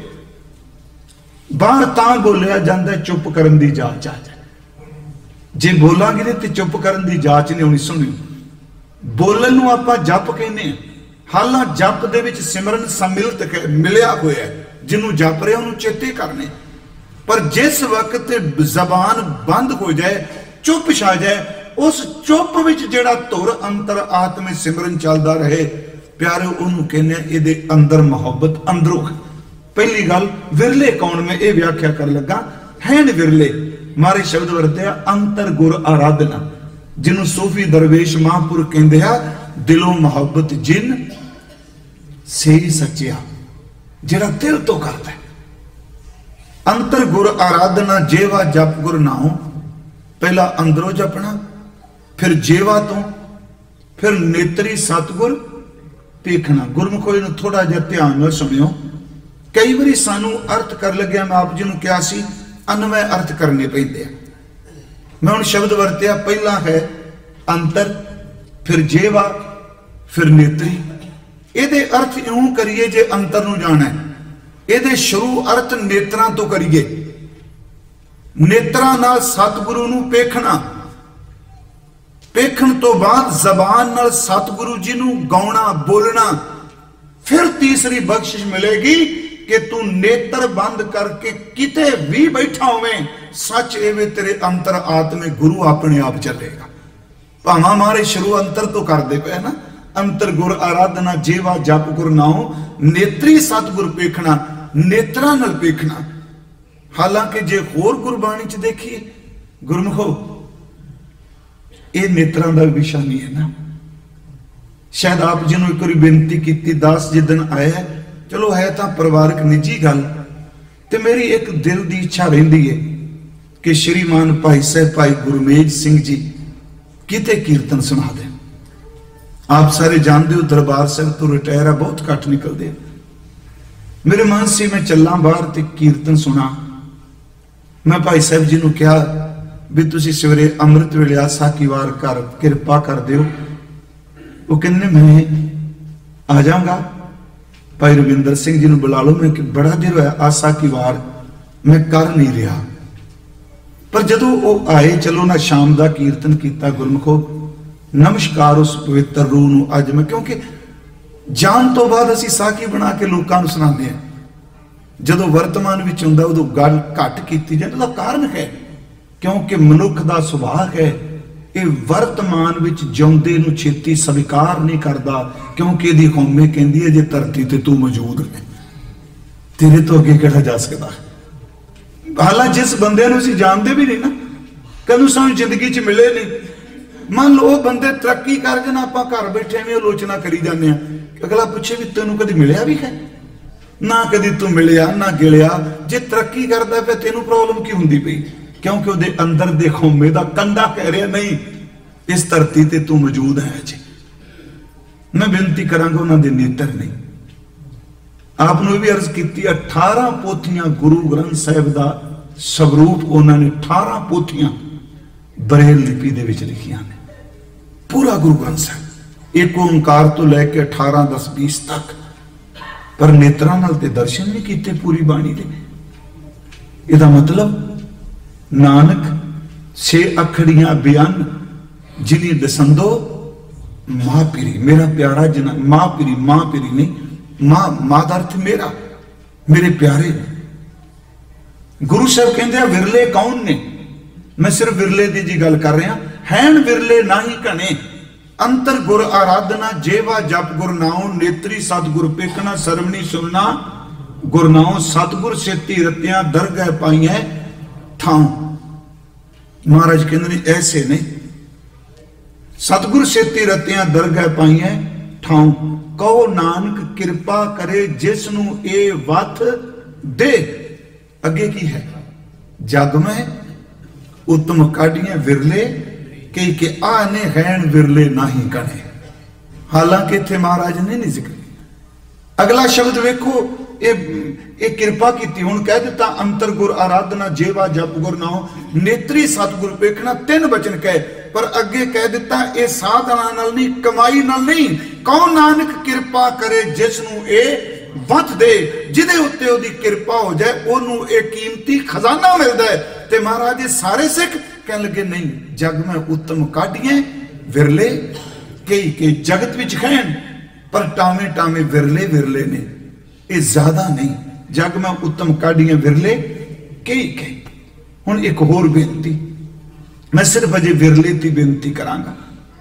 ਪਤਾ ਨਹੀਂ, ਜ਼ਿੰਦਗੀ ਦਾ ਸਾਰਾ ਸਮਾਂ ਵਿਰਲੇ ਦੀ ਵਿਆਖਿਆ ਬੜੀ ਵਿਸਤਾਰ ਨਾਲ ਹੈ 24 ਘੰਟੇ ਅਸੀਂ ਜ਼ਿੰਦਗੀ ਜੀਨੇ ਆ ਪਰ 24 ਘੰਟਿਆਂ ਵਿੱਚੋਂ ਕੋਈ ਵਿਰਲਾ ਛਿਨ ਆਉਂਦਾ ਜਦੋਂ ਰੱਬ ਦੀ ਯਾਦ ਹੁੰਦੀ ਹੈ। ਵਿਰਲੇ ਹੀ ਹੈ ਨਾ ਜੀ। ਇੰਨੀ ਵੱਡੀ ਭੀੜ ਚ ਆਪਾਂ ਤੁਰਨੇ ਕੋਈ ਵਿਰਲਾ ਹੀ ਮਿਲਦਾ ਜਿਹੜਾ ਅੰਦਰੋਂ ਜੁੜਿਆ ਹੋਇਆ ਹੈ। ਗੁਰੂ ਸਾਹਿਬ ਦਾ ਇੱਕ ਹੋਰ ਬਚਨ, ਦੋ ਤਿੰਨ ਮੈਂ ਬਚਨ ਆਪ ਨੂੰ ਬਾਣੀ ਵਿੱਚੋਂ ਸੁਣਾਉਂਦੇ ਨੇ, ਅਰਜ਼ ਕਰਨੀ ਕਿ ਵਿਰਲੇ। ਗੁਰੂ ਸਾਹਿਬ ਦਾ ਇੱਕ ਬਚਨ ਹੁੰਦਾ ਹੈ ਕਿ ਇਸ ਜਗਤ ਵਿੱਚ ਸੇਵਕ ਵੀ ਵਿਰਲੇ ਨੇ ਬ੍ਰਹਮ ਗਿਆਨੀ ਵੀ ਵਿਰਲੇ ਨੇ, ਇੱਥੇ ਸੱਚ ਨੂੰ ਧਿਆਉਣ ਵਾਲੇ ਵੀ ਵਿਰਲੇ ਨੇ। ਗੁਰੂ ਸਾਹਿਬ ਕਹਿੰਦੇ ਆ, ਇੱਥੇ ਦਰਵੇਸ਼ ਰੱਬ ਦੀ ਇਬਾਦਤ ਬਾਰੇ ਵੀ ਵਿਰਲੇ ਨੇ। ਗੁਰੂ ਸਾਹਿਬ ਜੀ ਦੇ ਬਚਨ ਨੇ। ਕੋਟ ਮੱਧੇ ਕੋਟ ਮੱਧੇ, ਕੋ ਬਿਰਲਾ ਸੇਵਕ। ਇੱਥੇ ਵੀ ਸ਼ਬਦ ਵੇਖੋ, ਬਿਰਲਾ। ਕਰੋੜਾਂ ਵਿੱਚੋਂ ਕੋਈ ਵਿਰਲਾ ਸੇਵਕ ਹੈ। ਕਿ ਗੁਰੂ ਸਾਹਿਬ ਜੀ, ਅਸੀਂ ਤਾਂ ਰੋਜ਼ ਕਹਿੰਨੇ ਕਿ ਕਰੋੜਾਂ ਸੰਗਤਾਂ ਗੁਰਦੁਆਰਿਆਂ ਵਿੱਚ, ਕਰੋੜਾਂ ਸੰਗਤਾਂ ਹਰ ਥਾਂ ਤੇ ਸੇਵਾ ਕਰਦੀਆਂ ਨੇ। ਕਰੋੜਾਂ ਬੰਦੇ ਨਗਰ ਕੀਰਤਨ ਵਿੱਚ ਨੇ। ਮਹਾਰਾਜ ਕਹਿੰਦੇ, ਨਹੀਂ ਕਰੋੜਾਂ ਹਨ, ਬਾਕੀ ਸੌਦਾ ਕਰਨ ਆਏ ਨੇ ਨਿਸ਼ਕਾਮ ਸੇਵਾ ਕਰਨ ਵਾਲਾ ਵਿਰਲਾ ਹੈ। ਦੇਖੋ ਸ਼ਬਦ। ਕੋਟ ਮੰਦਾ ਕੋ ਬਿਰਲਾ ਸੇਵਕ, ਹੋਰ ਸਗਲੇ ਵਿਵਹਾਰੀ ਗੁਰੂ ਸਾਹਿਬ ਕਹਿੰਦੇ ਨੇ, ਬਾਕੀ ਵਿਹਾਰ ਹੈ, ਆਇਆ ਹੈ, ਉਹ ਕਿਸੇ ਨਾ ਕਿਸੇ ਅੰਦਰ ਦੀ ਕਾਮਨਾ ਨੂੰ ਲੈ ਕੇ ਆਇਆ ਹੈ। ਕਿ ਪ੍ਰਮਾਤਮਾ ਮੈਂ ਤੇਰੀ ਆ ਸੇਵਾ ਕਰਾਂਗਾ, ਗੁਰੂ ਜੀ ਮੈਂ ਤੇਰੀ ਆ ਸੇਵਾ ਕਰਾਂਗਾ, ਮੈਨੂੰ ਇਹਦੇ ਬਦਲੇ ਇਹ ਦੇਈ। ਮਹਾਰਾਜ ਕਹਿੰਦੇ, ਮੈਂ ਇਹ ਨਹੀਂ ਕਹਿੰਦਾ ਵੀ ਆਉਂਦੇ ਨਹੀਂ, ਬਹੁ ਗਿਣਤੀ ਚ ਆਉਂਦੇ ਨੇ, ਪਰ ਕੋਟ ਮੱਧੇ ਕੋ ਬਿਰਲਾ ਸੇਵਕ। ਕੋਈ ਕਰੋੜਾਂ ਵਿੱਚ ਇੱਕ ਅੱਧਾ ਸੇਵਕ, ਇਹਦਾ ਮਤਲਬ ਸੇਵਕ ਵੀ ਬਿਰਲੇ ਬਿਰਲੇ।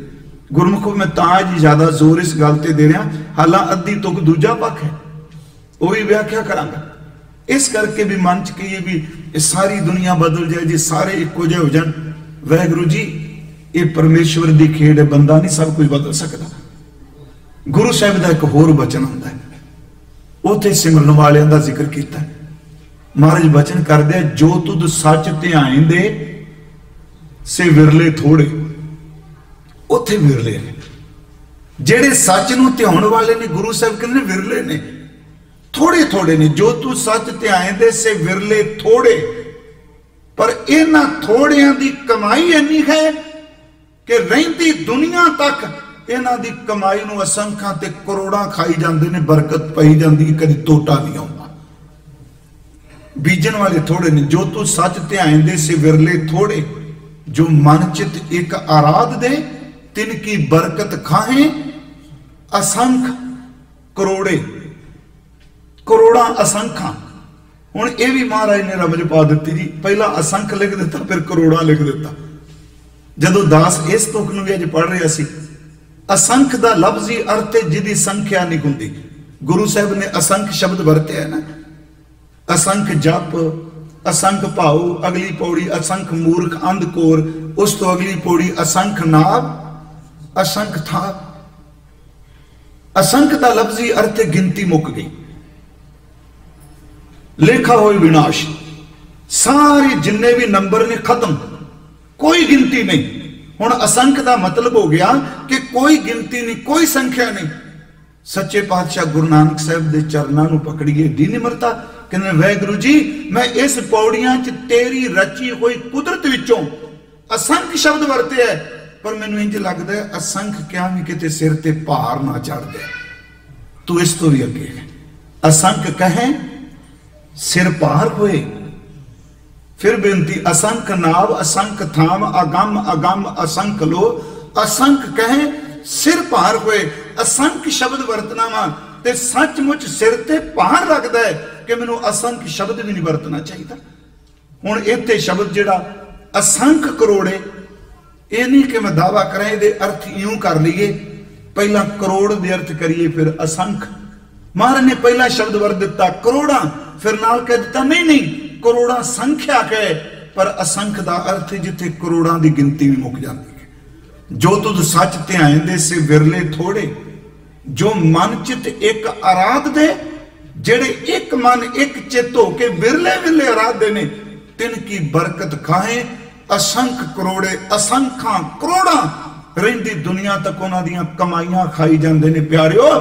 ਜਿਹੜੇ ਇੱਕ ਮਨ ਵਿਰਲੇ ਵਿਰਲੇ ਆਰਾਧਦੇ ਜਿਸ ਗੁਰੂ ਨਾਨਕ ਸਾਹਿਬ ਮਹਾਰਾਜ ਪਿੱਛੇ ਅੱਜ ਅਸੀਂ ਉਹਨਾਂ ਨੂੰ ਯਾਦ ਕਰਨੇ ਆ ਰੋਜ਼ ਯਾਦ ਕਰਨੇ ਆ ਜਿੱਤਾ ਜਦੋਂ ਜਪ ਪੜ੍ਹਨੇ ਉਹਨਾਂ ਦੀ ਕਮਾਈ ਤਾਂ ਸਾਰੇ ਖਾਣੇ ਪਏ ਆ ਉਂਝ ਜੇ ਬਾਣੀ ਦੀ ਵਿਆਖਿਆ ਆਪ ਜੀ ਜਦੋਂ ਕਰਦੇ ਹੋ ਗੁਰਮੁਖੋ, ਇਹ ਦਾਸ ਨੇ ਬੇਨਤੀ ਕੀਤੀ, ਬਾਕੀ ਗੁਰੂ ਸਾਹਿਬਾਨ ਜੀ ਨੇ, ਪੰਜ ਗੁਰੂ ਸਾਹਿਬਾਨ ਦੇ ਬਚਨ ਨੇ ਸੱਚ ਇਹ ਵੇ ਪੰਜੇ ਗੁਰੂ ਸਾਹਿਬਾਨਾਂ ਨੇ ਗੁਰੂ ਨਾਨਕ ਸਾਹਿਬ ਦੀ ਬਾਣੀ ਦੀ ਵਿਆਖਿਆ ਵਿੱਚ ਹੀ ਬਾਣੀ ਉਚਾਰ ਦਿੱਤੀ। ਸਭ ਬਾਣੀ, ਜਪਜੀ ਸਾਹਿਬ ਉਂਝ ਅਸੀਂ ਚਲੋ ਉਂਝ ਕਹਿ ਦਿੰਨੇ ਆ ਵੀ ਇੱਕ ਓੰਕਾਰ ਦੀ ਵਿਆਖਿਆ, ਮੂਲ ਮੰਤਰ ਮੂਲ ਮੰਤਰ ਦੀ ਵਿਆਖਿਆ, ਜਪਜੀ ਸਾਹਿਬ ਜਪਜੀ ਸਾਹਿਬ ਦੀ ਵਿਆਖਿਆ ਸਾਰਾ ਗੁਰੂ ਗ੍ਰੰਥ ਸਾਹਿਬ ਕਹਿੰਦੇ ਆ ਨਾ। ਇਹਦਾ ਮਤਲਬ ਕਿ ਜੇ ਜਪ ਦੀ ਵਿਆਖਿਆ ਸਾਰਾ ਗੁਰੂ ਗ੍ਰੰਥ ਸਾਹਿਬ ਹੈ, ਤੇ ਗੁਰੂ ਨਾਨਕ ਸਾਹਿਬ ਮਹਾਰਾਜ, ਉਹਨਾਂ ਦੇ ਬਚਨ ਉਹਨਾਂ ਦੇ ਬੋਲਾਂ ਦੀ ਵਿਆਖਿਆ ਹੀ ਗੁਰੂ ਗ੍ਰੰਥ ਸਾਹਿਬ ਦੀ ਬਾਣੀ ਹੈ। ਹਜ਼ੂਰ ਨੇ ਇਹ ਸ਼ਬਦ ਵੀ ਕਹੇ ਇੱਕਸ ਪਿੱਛੇ ਦੁਨੀਆ ਤਰ ਜਾਂਦੀ ਏ ਇੱਕਸ ਪਿੱਛੇ ਮਰ ਵੀ ਜਾਂਦੀ ਹੈ। ਹੈ ਜਨਮ ਸਾਖੀ ਦੀ ਛੋਟੀ ਜਿਹੀ ਘਟਨਾ। ਭਾਈ ਮਰਦਾਨਾ ਸਾਹਿਬ ਇੱਕ ਵਾਰੀ ਪੁੱਛਦੇ ਆ, ਮਹਾਰਾਜ, ਆ ਇੰਨਾ ਕੁਝ ਹੁੰਦਾ ਹੈ? ਵੀ ਜੇ ਪ੍ਰਮਾਤਮਾ ਕਹੇ, ਚਲੋ ਇਹ ਪ੍ਰਸ਼ਨ ਉੱਤਰ ਸਾਨੂੰ ਤੇ ਇੰਨਾ ਕੁਝ ਹੁੰਦਾ ਹੈ, ਕਈ ਵਾਰੀ ਬੰਦਾ ਇੱਕ ਗਲਤੀ ਕਰਦਾ ਹੈ ਤੇ ਇਹਨਾਂ ਨੂੰ ਸਜ਼ਾ ਮਿਲ ਜਾਂਦੀ ਏ ਮਹਾਰਾਜ ਹੱਸ ਪਏ। ਜਨਮ ਸਾਖੀ 'ਚ ਲਿਖਿਆ, ਰੁੱਖ ਥੱਲੇ ਬੈਠੇ ਆ, ਲੇਟੇ ਆ। ਭਾਈ ਮਰਦਾਨਾ ਸਿੰਘ ਲੇਟੇ। ਤੇ ਅਚਨਚੇ ਜ਼ਮੀਨ ਤੋਂ ਇੱਕ ਕੀੜੀ, ਇੱਕ ਕੀੜਾ ਉਹਨਾਂ ਦੀ ਚਮੜੀ ਨੂੰ ਕੱਟ ਗਿਆ, ਉੱਠੇ, ਇੱਕੋ ਦਮ ਅੰਜ ਭੁਆ ਕੇ ਮਾਰਿਆ, ਹੱਥ ਮਾਰਿਆ, ਕਈ ਮਰ ਗਏ। ਤੇ ਮਹਾਰਾਜ ਕਹਿੰਦੇ ਆ ਵੀ ਇਹ ਕੀ ਹੋਇਆ? ਕਹਿੰਦਾ, ਮਹਾਰਾਜ, ਕੀੜੀ ਵੱਢ ਗਈ। ਕਹਿਣ ਲੱਗੇ, ਵੱਢੀ ਇੱਕ ਤੇ ਮਾਰੇ ਨੀਆਂ ਗਈਆਂ। ਕਹਿੰਦਾ, ਬਸ ਜੀ, ਹਾਥੀ ਮਾਰਿਆ, ਸਤਿਗੁਰੂ ਅੱਗੇ ਕਹਿੰਦੇ ਨੇ, ਮਰਦਾਨਿਆਂ, ਇੱਥੇ ਹਿੱਕਸ ਪਿੱਛੇ ਉਜਾੜੇ ਪੈ ਜਾਂਦੇ ਨੇ, ਇੱਥੇ ਇੱਕਸ ਪਿੱਛੇ ਉਜੜੇ ਹੋਏ ਵਿਛੜ ਜਾਂਦੇ, ਉਜ- ਵੀ ਉਜੜੇ ਹੋਏ ਵਸ ਜਾਂਦੇ ਆ। ਸੱਚਮੁੱਚ ਵਿਰਲੇ ਨੇ, ਜਿਨ੍ਹਾਂ ਦੀ ਕਮਾਈ, ਇਹ ਕਾਰਨ ਮੈਂ ਕਈ ਵਾਰੀ ਕਹਿੰਨਾ ਸੰਪਰਦਾਵਾਂ ਜਿਉਂ ਜਿਉਂ ਚੱਲਦੀਆਂ ਨੇ, ਕਈ ਵਾਰੀ ਅਗਾ ਗੱਦੀਦਾਰ ਹੋਣ ਲੱਗ ਪੈਂਦੇ ਨੇ ਬਖਸ਼ ਦਿਓ ਨਿੰਦਿਆ ਨਹੀਂ, ਉਹਨੀਆਂ ਕਮਾਈਆਂ ਨਹੀਂ ਹੁੰਦੀਆਂ। ਪਰ ਪਹਿਲੇ ਇੰਨੀ ਕੁ ਕਮਾਈ ਕਰ ਜਾਂਦੇ ਨੇ, ਉਹਨਾਂ ਦੇ ਨਾਮ ਤੇ ਹਜ਼ਾਰਾਂ ਬੰਦੇ ਰੋਟੀਆਂ ਖਾਈ ਜਾਂਦੇ। ਪਰ ਮੈਂ ਇਸ ਨੂੰ ਰੋਟੀ ਨਾਲ ਨਹੀਂ ਜੋੜਾਂਗਾ। ਇਸ ਨੂੰ ਉਸ ਕਮਾਈ ਨਾਲ ਹਰ ਇੱਕ ਹੱਥ ਆਇਆ, ਵਰਸ਼ਾਣੇ ਬਹੁ ਤੇਰੇ। ਇੱਕ ਦੇ ਹੱਥ ਵਿੱਚ ਆਇਆ, ਉਹਨੇ ਇੱਕ ਦੇ ਹੱਥ ਵਿੱਚ ਆਏ ਨੇ ਪਤਾ ਨੂੰ ਕਿੰਨਿਆਂ ਕੁ ਨੂੰ ਵਰਸ਼ਾ ਦਿੱਤਾ। ਜਦੋਂ ਗਰਮੀ ਹੁੰਦੀ ਹੈ ਸਾਡੇ ਪੰਜਾਬ 'ਚ, ਪਸ਼ੂ ਪੰਛੀ ਵਿਆਕੁਲ ਨੇ ਪਾਣੀ ਲਈ। ਕਈ ਥਾਵਾਂ ਤੇ ਮਹਾਰਾਸ਼ਟਰ ਵੱਲ ਜਾਈਦਾ ਸੱਚੀ ਮੁੱਚੀ ਪਾਣੀ ਲੋਕਾਂ ਨੂੰ ਨਸੀਬ ਹੀ ਨਹੀਂ। ਪਰ ਉਹਨਾਂ ਰਾਤਾਂ ਵਿੱਚ ਦਿਨ ਪਾਣੀ ਸਾਰੇ ਚਾਹੁੰਦੇ ਆ। ਪਰ ਜਿੰਨੀ ਦਰਦ ਭਰੀ ਆਵਾਜ਼ ਨਾਲ ਪਪੀਆ ਆਵਾਜ਼ਾਂ ਮਾਰਦਾ ਕਮਾਈ ਕਰਦਾ ਉਸ ਤਰ੍ਹਾਂ ਸਾਰੇ ਨਹੀਂ ਜੇ ਕਰਦੇ। ਗੁਰਮੁਖੋ, ਇੱਕ ਪਪੀਆ ਜਦੋਂ ਤਰਦ ਭਰੀ ਆਵਾਜ਼ ਨਾਲ ਬੋਲਦਾ ਹੈ, ਉਹਦੇ ਪਿੱਛੇ ਸਾਰਾ ਇਲਾਕਾ ਪਾਣੀ ਜਲ ਥਲ ਹੋ ਜਾਂਦਾ ਹੈ। ਗੁਰਮੁਖੋ, ਟਾਵਾ ਵਿਰਲਾ ਬੰਦਗੀ ਵਾਲਾ ਬੈਠਦਾ ਹੈ। ਉਹਦੇ ਪਿੱਛੇ ਸੰਸਾਰ ਦਾ ਉਧਾਰ ਵੀ ਹੋ ਜਾਂਦਾ ਹੈ। ਵਿਰਲਾ ਤਾਰ ਦਿੰਦਾ ਹੈ। ਗੁਰੂ ਸਾਹਿਬ ਜੀ ਨੇ ਇਹ ਇਹ ਸ਼ਬਦ ਵੀ ਵਰਤਿਆ। ਮੈਂ ਫਿਰ ਅਰਜ਼ ਕਰਾਂਗਾ, ਜੋ ਤੁਧ ਸੱਚ ਧਿਆਏ ਦੇ ਸੇ ਵਿਰਲੇ ਥੋੜੇ, ਜੇ ਮਨ ਚਿਤ ਇੱਕ ਆਰਾਧ ਦੇ ਤਿਨ ਕੀ ਬਰਕਤ ਖਾਏ ਅਸੰਖ ਕਰੋੜੇ ਉੱਥੇ ਵੀ ਗੁਰੂ ਜੀ ਨੇ ਸ਼ਬਦ ਵਿਰਲੇ ਵਰਤਿਆ ਇੱਕ ਦੋ ਬਚਨ ਮੈਂ ਸਿਰਫ ਹੋਰ ਸਾਂਝੇ ਕਰਾਂਗਾ। ਇਹ ਸ਼ਬਦ ਸ਼ਬਦ ਨਾਲ ਸੰਬੰਧਿਤ ਹੈ ਵਿਰਲੇ। ਅੱਜ ਵੀ ਨਹੀਂ। ਤੇ ਗੁਰੂ ਨਾਨਕ ਸਾਹਿਬ ਤਾਂ ਖੁਦ ਬਚਨ ਕਰਦੇ ਆ ਬਾਣੀ 'ਚ। ਕਹਿੰਦੇ ਨੇ, ਹੈਣ ਵਿਰਲੇ ਵਿਰਲੇ ਹੋ ਕੇ ਦਈ ਜੋ ਕਿਤੇ ਨਾ ਕਿਤੇ ਤੱਕ ਮਿਲੂਗਾ ਨਾ। ਜਿਵੇਂ ਮਹਾਰਾਜ ਜੀ ਨੇ ਇੱਕ ਵਾਰੀ ਕਿਹਾ, ਗੁਰੂ ਅਰਜਨ ਸਾਹਿਬ ਜੀ ਨੇ, ਕਹਿੰਦੇ, ਦਾਣਾ ਪਾਉਂਦੇ ਸਨ। ਕਦੀ ਕਾਂ ਆਏ, ਕਦੀ ਬਗਲੇ ਆਏ, ਕਦੀ ਜਾਨਵਰ ਬਾਕੀ ਆਏ। ਇੱਕ ਦਿਨ ਹੰਸ ਵੀ ਆ ਗਏ। ਕਹਿਣ ਤੋਂ ਮੁਰਾਦ ਸੀ ਵੀ ਇਸ ਬਹੁਤਾਤ ਵਿੱਚ ਗੁਰੂ ਸਾਹਿਬ ਵੀ ਜਦੋਂ ਕਹਿੰਦੇ ਆ, ਉਦੋਂ ਬਾਣੀ ਸ਼ਬਦ ਕਰਦੇ ਆ। ਮਹਾਰਾਜ ਕਹਿੰਦੇ ਆ, ਵਾਹਿਗੁਰੂ ਜੀ, ਮੈਂ ਘਰੋਂ ਉਹਨਾਂ ਨੂੰ ਲੱਭਣ ਚੁੜਿਆ ਜਿਹੜੇ ਵਿਰਲੇ ਵਿਰਲੇ ਤੇਰੀ ਬੰਦਗੀ ਕਰਦੇ ਪਏ ਇਹ ਗੱਲ ਸਿੱਧਾ ਨੂੰ ਕਹੀ ਕਿ ਗੁਰਮੁਖ ਖੋਜਤ ਭੈ ਉਦਾਸੀ, ਦਰਸ਼ਨ ਕਹਤਾ ਭੇਖ ਨਿਵਾਸੀ। ਉਹਨਾਂ ਗੁਰਮੁਖਾਂ ਨੂੰ ਲੱਭਣ ਤੁਰਿਆ ਜਿਹੜੇ ਟਾਵੇਂ ਟਾਵੇਂ ਤੇਰੀ ਇਬਾਦਤ ਕਰ ਰਹੇ ਆ। ਇਸੇ ਕਰਕੇ ਇੱਕ ਸ਼ਬਦ ਹੋਰ ਵਰਤਿਆ, ਤੇਰਾ ਨਾਮ ਨਿਵੈ ਰਹਿ ਲਿਵ ਲਾਏ। ਨਾਨਕ ਤਿਨ ਦਰ ਭੀਖਿਆ ਪਾਏ, ਤੇਰੀ ਬੰਦਗੀ ਜੁੜੇ ਹੋਏ, ਡਿੱਗੇ ਹੋਏ ਜਿਹੜੇ ਨੇ ਟਾਵੇਂ ਟਾਵੇਂ ਜਿੱਥੇ ਨੇ ਮੈਂ ਉਹਨਾਂ ਦੇ ਬੂਹਿਆਂ ਤੇ ਖਲੋ ਕੇ ਝੋਲੀ ਅੱਡ ਕੇ ਮੰਗਣ ਆਇਆ ਮੈਂ ਬੇਨਤੀ ਕਰਾਂ, ਇੱਕ ਬਚਨ ਮਹਾਰਾਜ ਦਾ, ਦੋ ਹੋਰ ਲਵਾਂਗੇ। ਕਹਿਣ, ਕਹਾਵਨ ਕੋ ਕਈ ਕੀਤਾ। ਗੁਰੂ ਅਰਜਨ ਸਾਹਿਬ ਦਾ ਸ਼ਬਦ, ਇਹ ਸ਼ਬਦ ਮੈਂ ਬੋਲ ਰਿਹਾ, ਵਿਰਲੇ, ਹੈਣ ਵਿਰਲੇ। ਕਹਿਣ, ਕਹਾਵਨ ਕੋ ਕਈ ਕੀਤਾ। ਇਹ ਦੋ ਸ਼ਬਦ ਨੇ। ਇੱਕ ਹੈ ਕਹਿਣ, ਇੱਕ ਹੈ ਕਹਾਵਨ। ਇਹਦਾ ਮਤਲਬ ਗੁਰੂ ਤੇ ਚੇਲਾ ਦੋਨੋਂ ਆ ਗਏ। ਇੱਕ ਬੰਦਾ ਕਹਿਣ, ਇਹ ਆਪ ਕਹਿੰਦਾ ਪਿਆ ਮੇਰੀ ਇੰਨੀ ਕਮਾਈ ਹੈ। ਕਹਾਵਨ, ਜਿਹੜੇ ਉਹਦੇ ਮੁਰੀਦ ਨੇ ਕੋਲ, ਫਿਰ ਉਹਨਾਂ ਤੋਂ ਲੋਕਾਂ ਵਿੱਚ ਪ੍ਰਚਾਰ ਕਹਿੰਦਾ ਹੈ ਕਿ ਤੁਸੀਂ ਜਾ ਕੇ ਦੱਸੋ ਮੇਰੀ ਇੰਨੀ ਕਮਾਈ ਹੈ। ਕਈ ਲੋਕ ਐਸੇ ਨੇ ਜਿਹੜੇ ਆਪਣੇ ਆਪ ਨੂੰ ਕਹਿੰਦੇ ਨੇ, ਕਈ ਐਸੇ ਨੇ ਜਿਹੜੇ ਕਹਾਂਦੇ ਪਏ ਨੇ ਤੇ ਮਹਾਰਾਜ ਉੱਤੇ ਸ਼ਬਦ ਵਰਦਿਆ ਕਿਤੇ ਕਹਿਣ ਕਹਾਵਣ ਵਾਲੇ ਵੀ ਕੀਤੇ ਨੇ, ਕਹਿਣ ਕਹਾਵਨ ਕੋ ਕਈ ਕੀਤੇ। ਐਸੋ ਜਨ ਬਿਰਲੋ ਹੈ ਸੇਵਕ।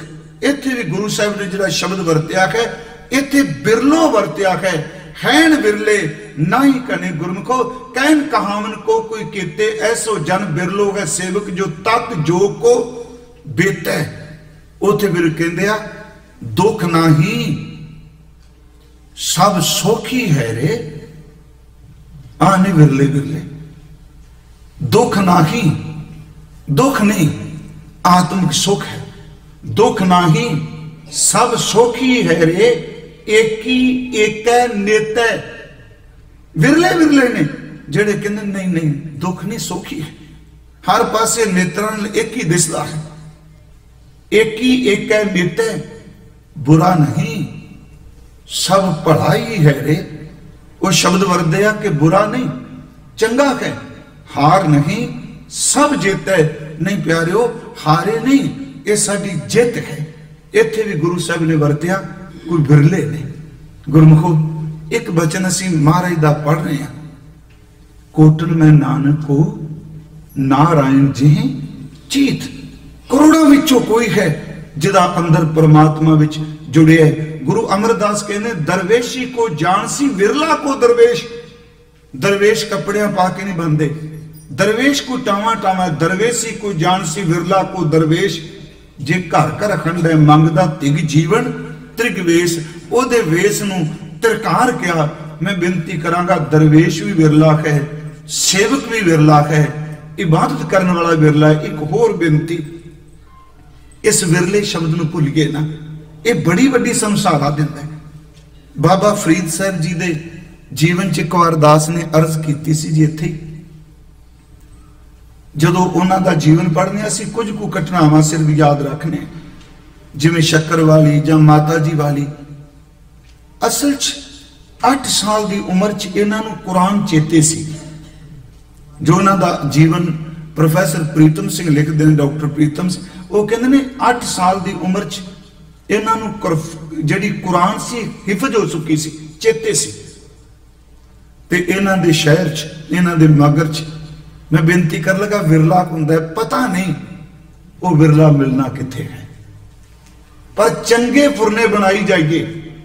ਇਹੀ ਕਾਰਨ ਮੈਂ ਸੋਚਣਾ ਕਿ ਸਾਡੀ ਅਰਦਾਸ ਵਿੱਚ ਅਖੀਰਲੇ ਸ਼ਬਦ ਇੰਨੇ ਮਨੋਵਿਗਿਆਨਕ ਨੇ ਕਿ ਇਹੋ ਜਿਹੇ ਫੁਰਨੇ ਬਣਾ, ਜਿਹਦੇ ਵਿੱਚ ਆਪ ਰੋਜ਼ ਕਹਿੰਦੇ ਹੋ, ਸਹੀ ਗੁਰਮੁਖ ਪਿਆਰੇ ਮਿਲਨੇ ਸਹੀ ਪਿਆਰੇ ਮਿਲਨੇ, ਜਿੰਨਾ ਮਿਲਿਆ ਤੇਰਾ ਨਾਮ ਚਿੱਤਾ ਹੈ। ਇਹਦਾ ਮਤਲਬ ਅਸੀਂ ਭੀੜ ਵਿੱਚੋਂ ਲੱਭਣੇ ਪਿਆ ਟਾਵੇਂ ਟਾਵੇਂ। ਸਹੀ ਦਾ ਅਰਥ ਉਹ, ਤੇ ਉਹ ਗਿਣਤੀ ਜ਼ਿਆਦਾ ਚ ਨਹੀਂ। ਇੰਜ ਲੱਗਦਾ ਸਾਨੂੰ ਇੱਥੇ ਵੀ ਸਮਝਾਇਆ ਗਿਆ ਕਿ ਸਹੀ ਗੁਰਮੁਖ ਪਿਆਰੇ ਮਿਲਨੇ, ਜਿੰਨਾ ਮਿਲਿਆ ਤੇਰਾ ਨਾਮ ਚਿਤਾਵੇ ਮੈਂ ਅਰਜ਼ ਕਰਾਂ ਜੀ, ਬਾਬਾ ਫਰੀਦ ਸਾਹਿਬ ਦੇ ਮਾਤਾ ਦਾ ਬੜਾ ਵੱਡਾ ਯੋਗਦਾਨ ਹੈ। ਇਹਨਾਂ ਦੇ ਪਿੰਡ ਸ਼ਹਿਰ ਜਾਂ ਨਗਰ ਚ ਇੱਕ ਦਰਵੇਸ਼ ਆਇਆ, ਜਿਹਦੀ ਮਸਨਵੀ ਬਹੁਤ ਧਿਆਨ ਨਾਲ ਲੋਕ ਪੜਦੇ ਆ, ਮੌਲਾਨਾ ਨੂੰ ਉਹਨੂੰ ਚੇਂਜ ਕੀਤਾ ਸ਼ਮਸ ਤਬਰੇਜ਼ ਨੇ। ਕਿਉਂਕਿ ਮੌਲਾਨਾ ਰੂਮ ਬਹੁਤ ਵਿਦਵਾਨ ਬਹੁਤ ਵਿਦਵਾਨ ਸੀ ਜੀ। ਤੇ ਸ਼ਮਸ ਤਬਰੇਜ਼ ਜਦੋਂ ਇਹ ਪੜਾ ਰਿਹਾ ਸੀ ਇਹਦੇ ਕੋਲ ਆ ਗਿਆ ਸ਼ਮਸ ਤਬਰੇਜ਼ ਮੌਲਾਨਾ ਪੜਾ ਰਿਹਾ ਚਲੋ ਇਸ ਇਸ ਘਟਨਾ ਨੂੰ ਤਕਰੀਬਨ ਸਾਰਿਆਂ ਨੇ ਇੱਕ ਅਜ਼ਮਤ ਨਾਲ ਜੋੜ ਕੇ ਦੱਸਿਆ ਤੇ ਮੈਂ ਐਵੇਂ ਕਮਾ ਕੇ ਸ਼ਬਦ ਨਹੀਂ ਕਹਾਂਗਾ ਜੋ ਅਸੀਂ ਪੜਿਆ ਵੀ ਉਹ ਸ਼ਮਸ ਤਬਰੇਜ਼ ਪੜਾਉਂਦੇ ਨੂੰ ਵੇਖ ਕੇ ਮੌਲਾਨਾ ਨੂੰ ਹੱਸ ਪਿਆ। ਜੇ ਬੰਦਾ ਮਜ਼ਾਕ ਨਹੀਂ ਕਰਦਾ। ਤੇ ਮੌਲਾਨਾ ਰੂਮ ਨੂੰ ਮਹਿਸੂਸ ਹੋਇਆ। ਵੀ ਜ਼ਾਹਿਰ ਜਿਹਾ ਬੰਦਾ ਹੈ, ਅਨਪੜ੍ਹ। ਫਿਰ ਹੱਸਿਆ। ਤੇ ਨਾਲ ਹੱਸਦਿਆਂ ਪੁੱਛਦਾ ਮੌਲਾਨਾ ਰੂਮ ਨੂੰ। ਜਲਾਲੂਦੀਨ ਕਹਿੰਦੇ ਸਨ, ਮੌਲਾਨਾ ਰੂਮ ਨੂੰ, ਕਿ ਤੇਰੇ ਹੱਥ 'ਚ ਕੀ ਕੀ ਪੜਾ ਰਹੇ ਆ? ਉਹ ਵੀ ਖਿੱਚ ਗਿਆ ਅੰਦਰੋਂ। ਉਹਨੇ ਕਿਹਾ, ਜਾ ਅੱਗੇ ਚੱਲ। ਘਰ ਚੋਂ ਮੰਗ ਕੇ ਰੋਟੀ ਖਾ ਕਿਸੇ ਦਿਓ। ਇਹ ਉਹ ਕੁਛ ਤੇਰੇ ਜਿਹਦੇ ਬਾਰੇ ਤੈਨੂੰ ਪਤਾ ਨਹੀਂ। ਕੀ ਦੱਸਾਂ ਕੀ ਇੰਨਾ ਸ਼ਬਦ ਕਿਹਾ। ਉਹ ਕਹਿੰਦੇ ਨੇ, ਸ਼ਮਸ਼ ਤਬਰੇਜ ਨੇ ਅੱਖਾਂ ਭਰ ਕੇ ਜਦ ਦੇਖਿਆ ਹੱਥ ਵੱਲ, ਉਹਦੇ ਹੱਥ 'ਚ ਕਿਤਾਬ ਮੱਚਣ ਲੱਗ ਪਈ। ਅੱਗ ਲੱਗ ਗਈ। ਉਹਨੇ ਸੱਟ ਦਿੱਤਾ, ਉਹ ਜੋ ਕਿਤਾਬ ਸੀ। ਪੁੱਛਦਾ, ਇਹ ਕੀ? ਉਹ ਵੀ ਕਹਿੰਦਾ, ਤੂੰ ਵੀ ਸਾਰੀ ਜ਼ਿੰਦਗੀ ਬਸ ਇਹਨਾਂ ਪੰਡਾਂ ਨੂੰ ਢੋਈ ਜਾ। ਇਹ ਉਹ ਵੇ ਜਿਹਦੇ ਬਾਰੇ ਤੈਨੂੰ ਸਮਝ ਕੋਈ ਨਹੀਂ। ਮਾਰੀ ਤਾਂ ਰਮਜ਼ ਹੀ ਨਾ ਜੀ। ਚਲੋ ਮੇਰਾ ਖਿਆਲ ਵੀ ਇਹ ਇਹ ਮੌਜਾ ਵੇਖਣ ਸੁਬੀਆਂ ਦਾ ਇੱਕ ਪਰ ਸ਼ਮਸ ਤਬਰੀਦ ਦੇ ਪਿੱਛੇ ਗਿਆ ਮੌਲਾਨਾ ਰੂ ਸੱਚਮੁੱਚ ਕਿ ਤਮ ਤਬਰੇਜ ਨੇ ਕੋਈ ਸਮੇਂ ਬਾਅਦ ਉਹਨੂੰ ਆਪਣੇ ਅੰਦਰ ਦਾ ਖਜ਼ਾਨਾ ਸੀਨੇ ਨਾਲ ਲਾ ਕੇ ਦੇ ਦਿੱਤਾ।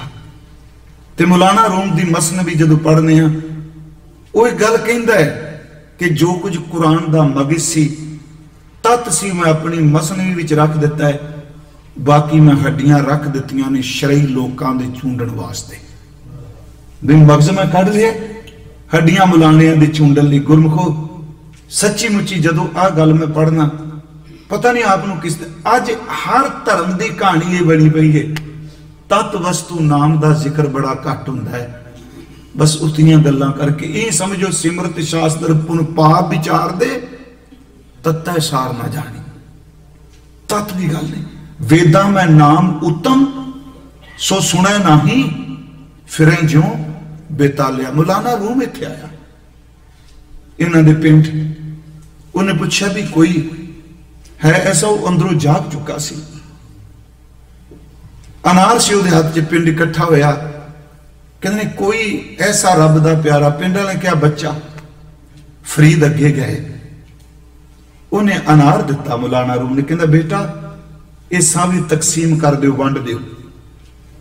ਉਸਨੇ ਅਨਾਰ ਖੋਲਿਆ ਜੀ, ਵੰਡਣ ਲੱਗ ਪਿਆ। ਮੈਂ ਗੱਲ ਕਰ ਲਿਆ ਵਿਰਲੇ।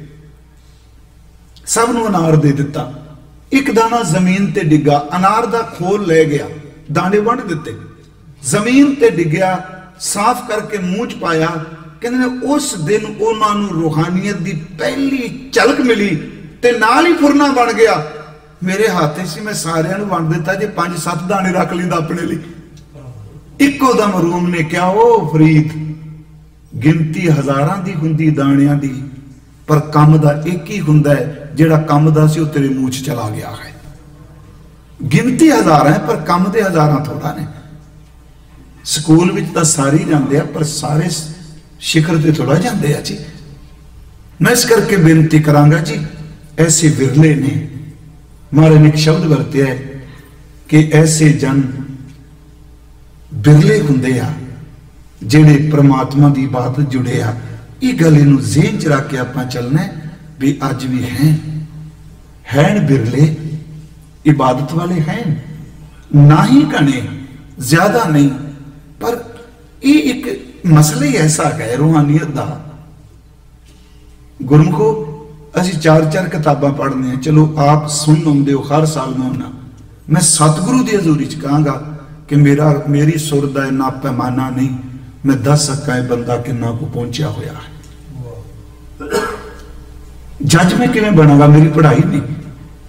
ਅਦ ਖੇਦ ਇਸ ਚੀਜ਼ ਦਾ ਕਿਸੇ ਦੇ ਨਿੱਜੀ ਜੀਵਨ ਨੂੰ ਇੰਨਾ ਨਹੀਂ ਜਾਣਦੇ ਤੇ ਸਟੇਜ ਤੇ ਫੈਸਲੇ ਸੁਣਾਉਂਦੇ ਆ, ਸਾਰੇ ਚੰਗੇ ਨੇ।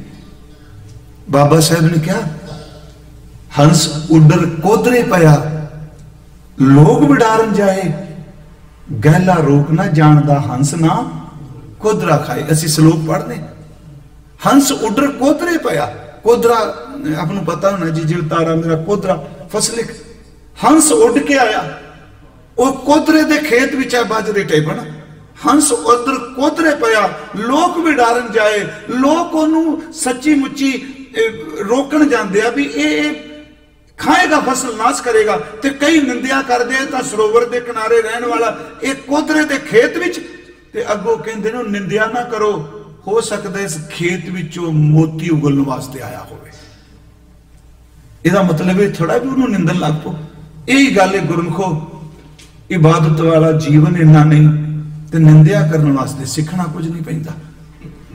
ਉਹਦੇ ਲਈ ਬਿਲਕੁਲ ਕੋਈ ਲਿਟਰੇਚਰ ਦੀ ਕੋਈ ਲੋੜ ਨਹੀਂ। ਬਿਲਕੁਲ ਜਿਹੋ ਜਿਹਾ ਮਾਂ ਦੇ ਪੇਟ ਜੰਮਿਆ ਉਹਨੂੰ ਚਾਰਕ ਦਿਨ ਸਾਕਦਾਂ ਦੀ ਸੰਗਤ 'ਚ ਕਮਾ ਲਿਓ, ਬਸ ਰੰਗ ਆਪਣੇ ਆਪ ਹੀ ਲੱਗ ਜਾਣਾ।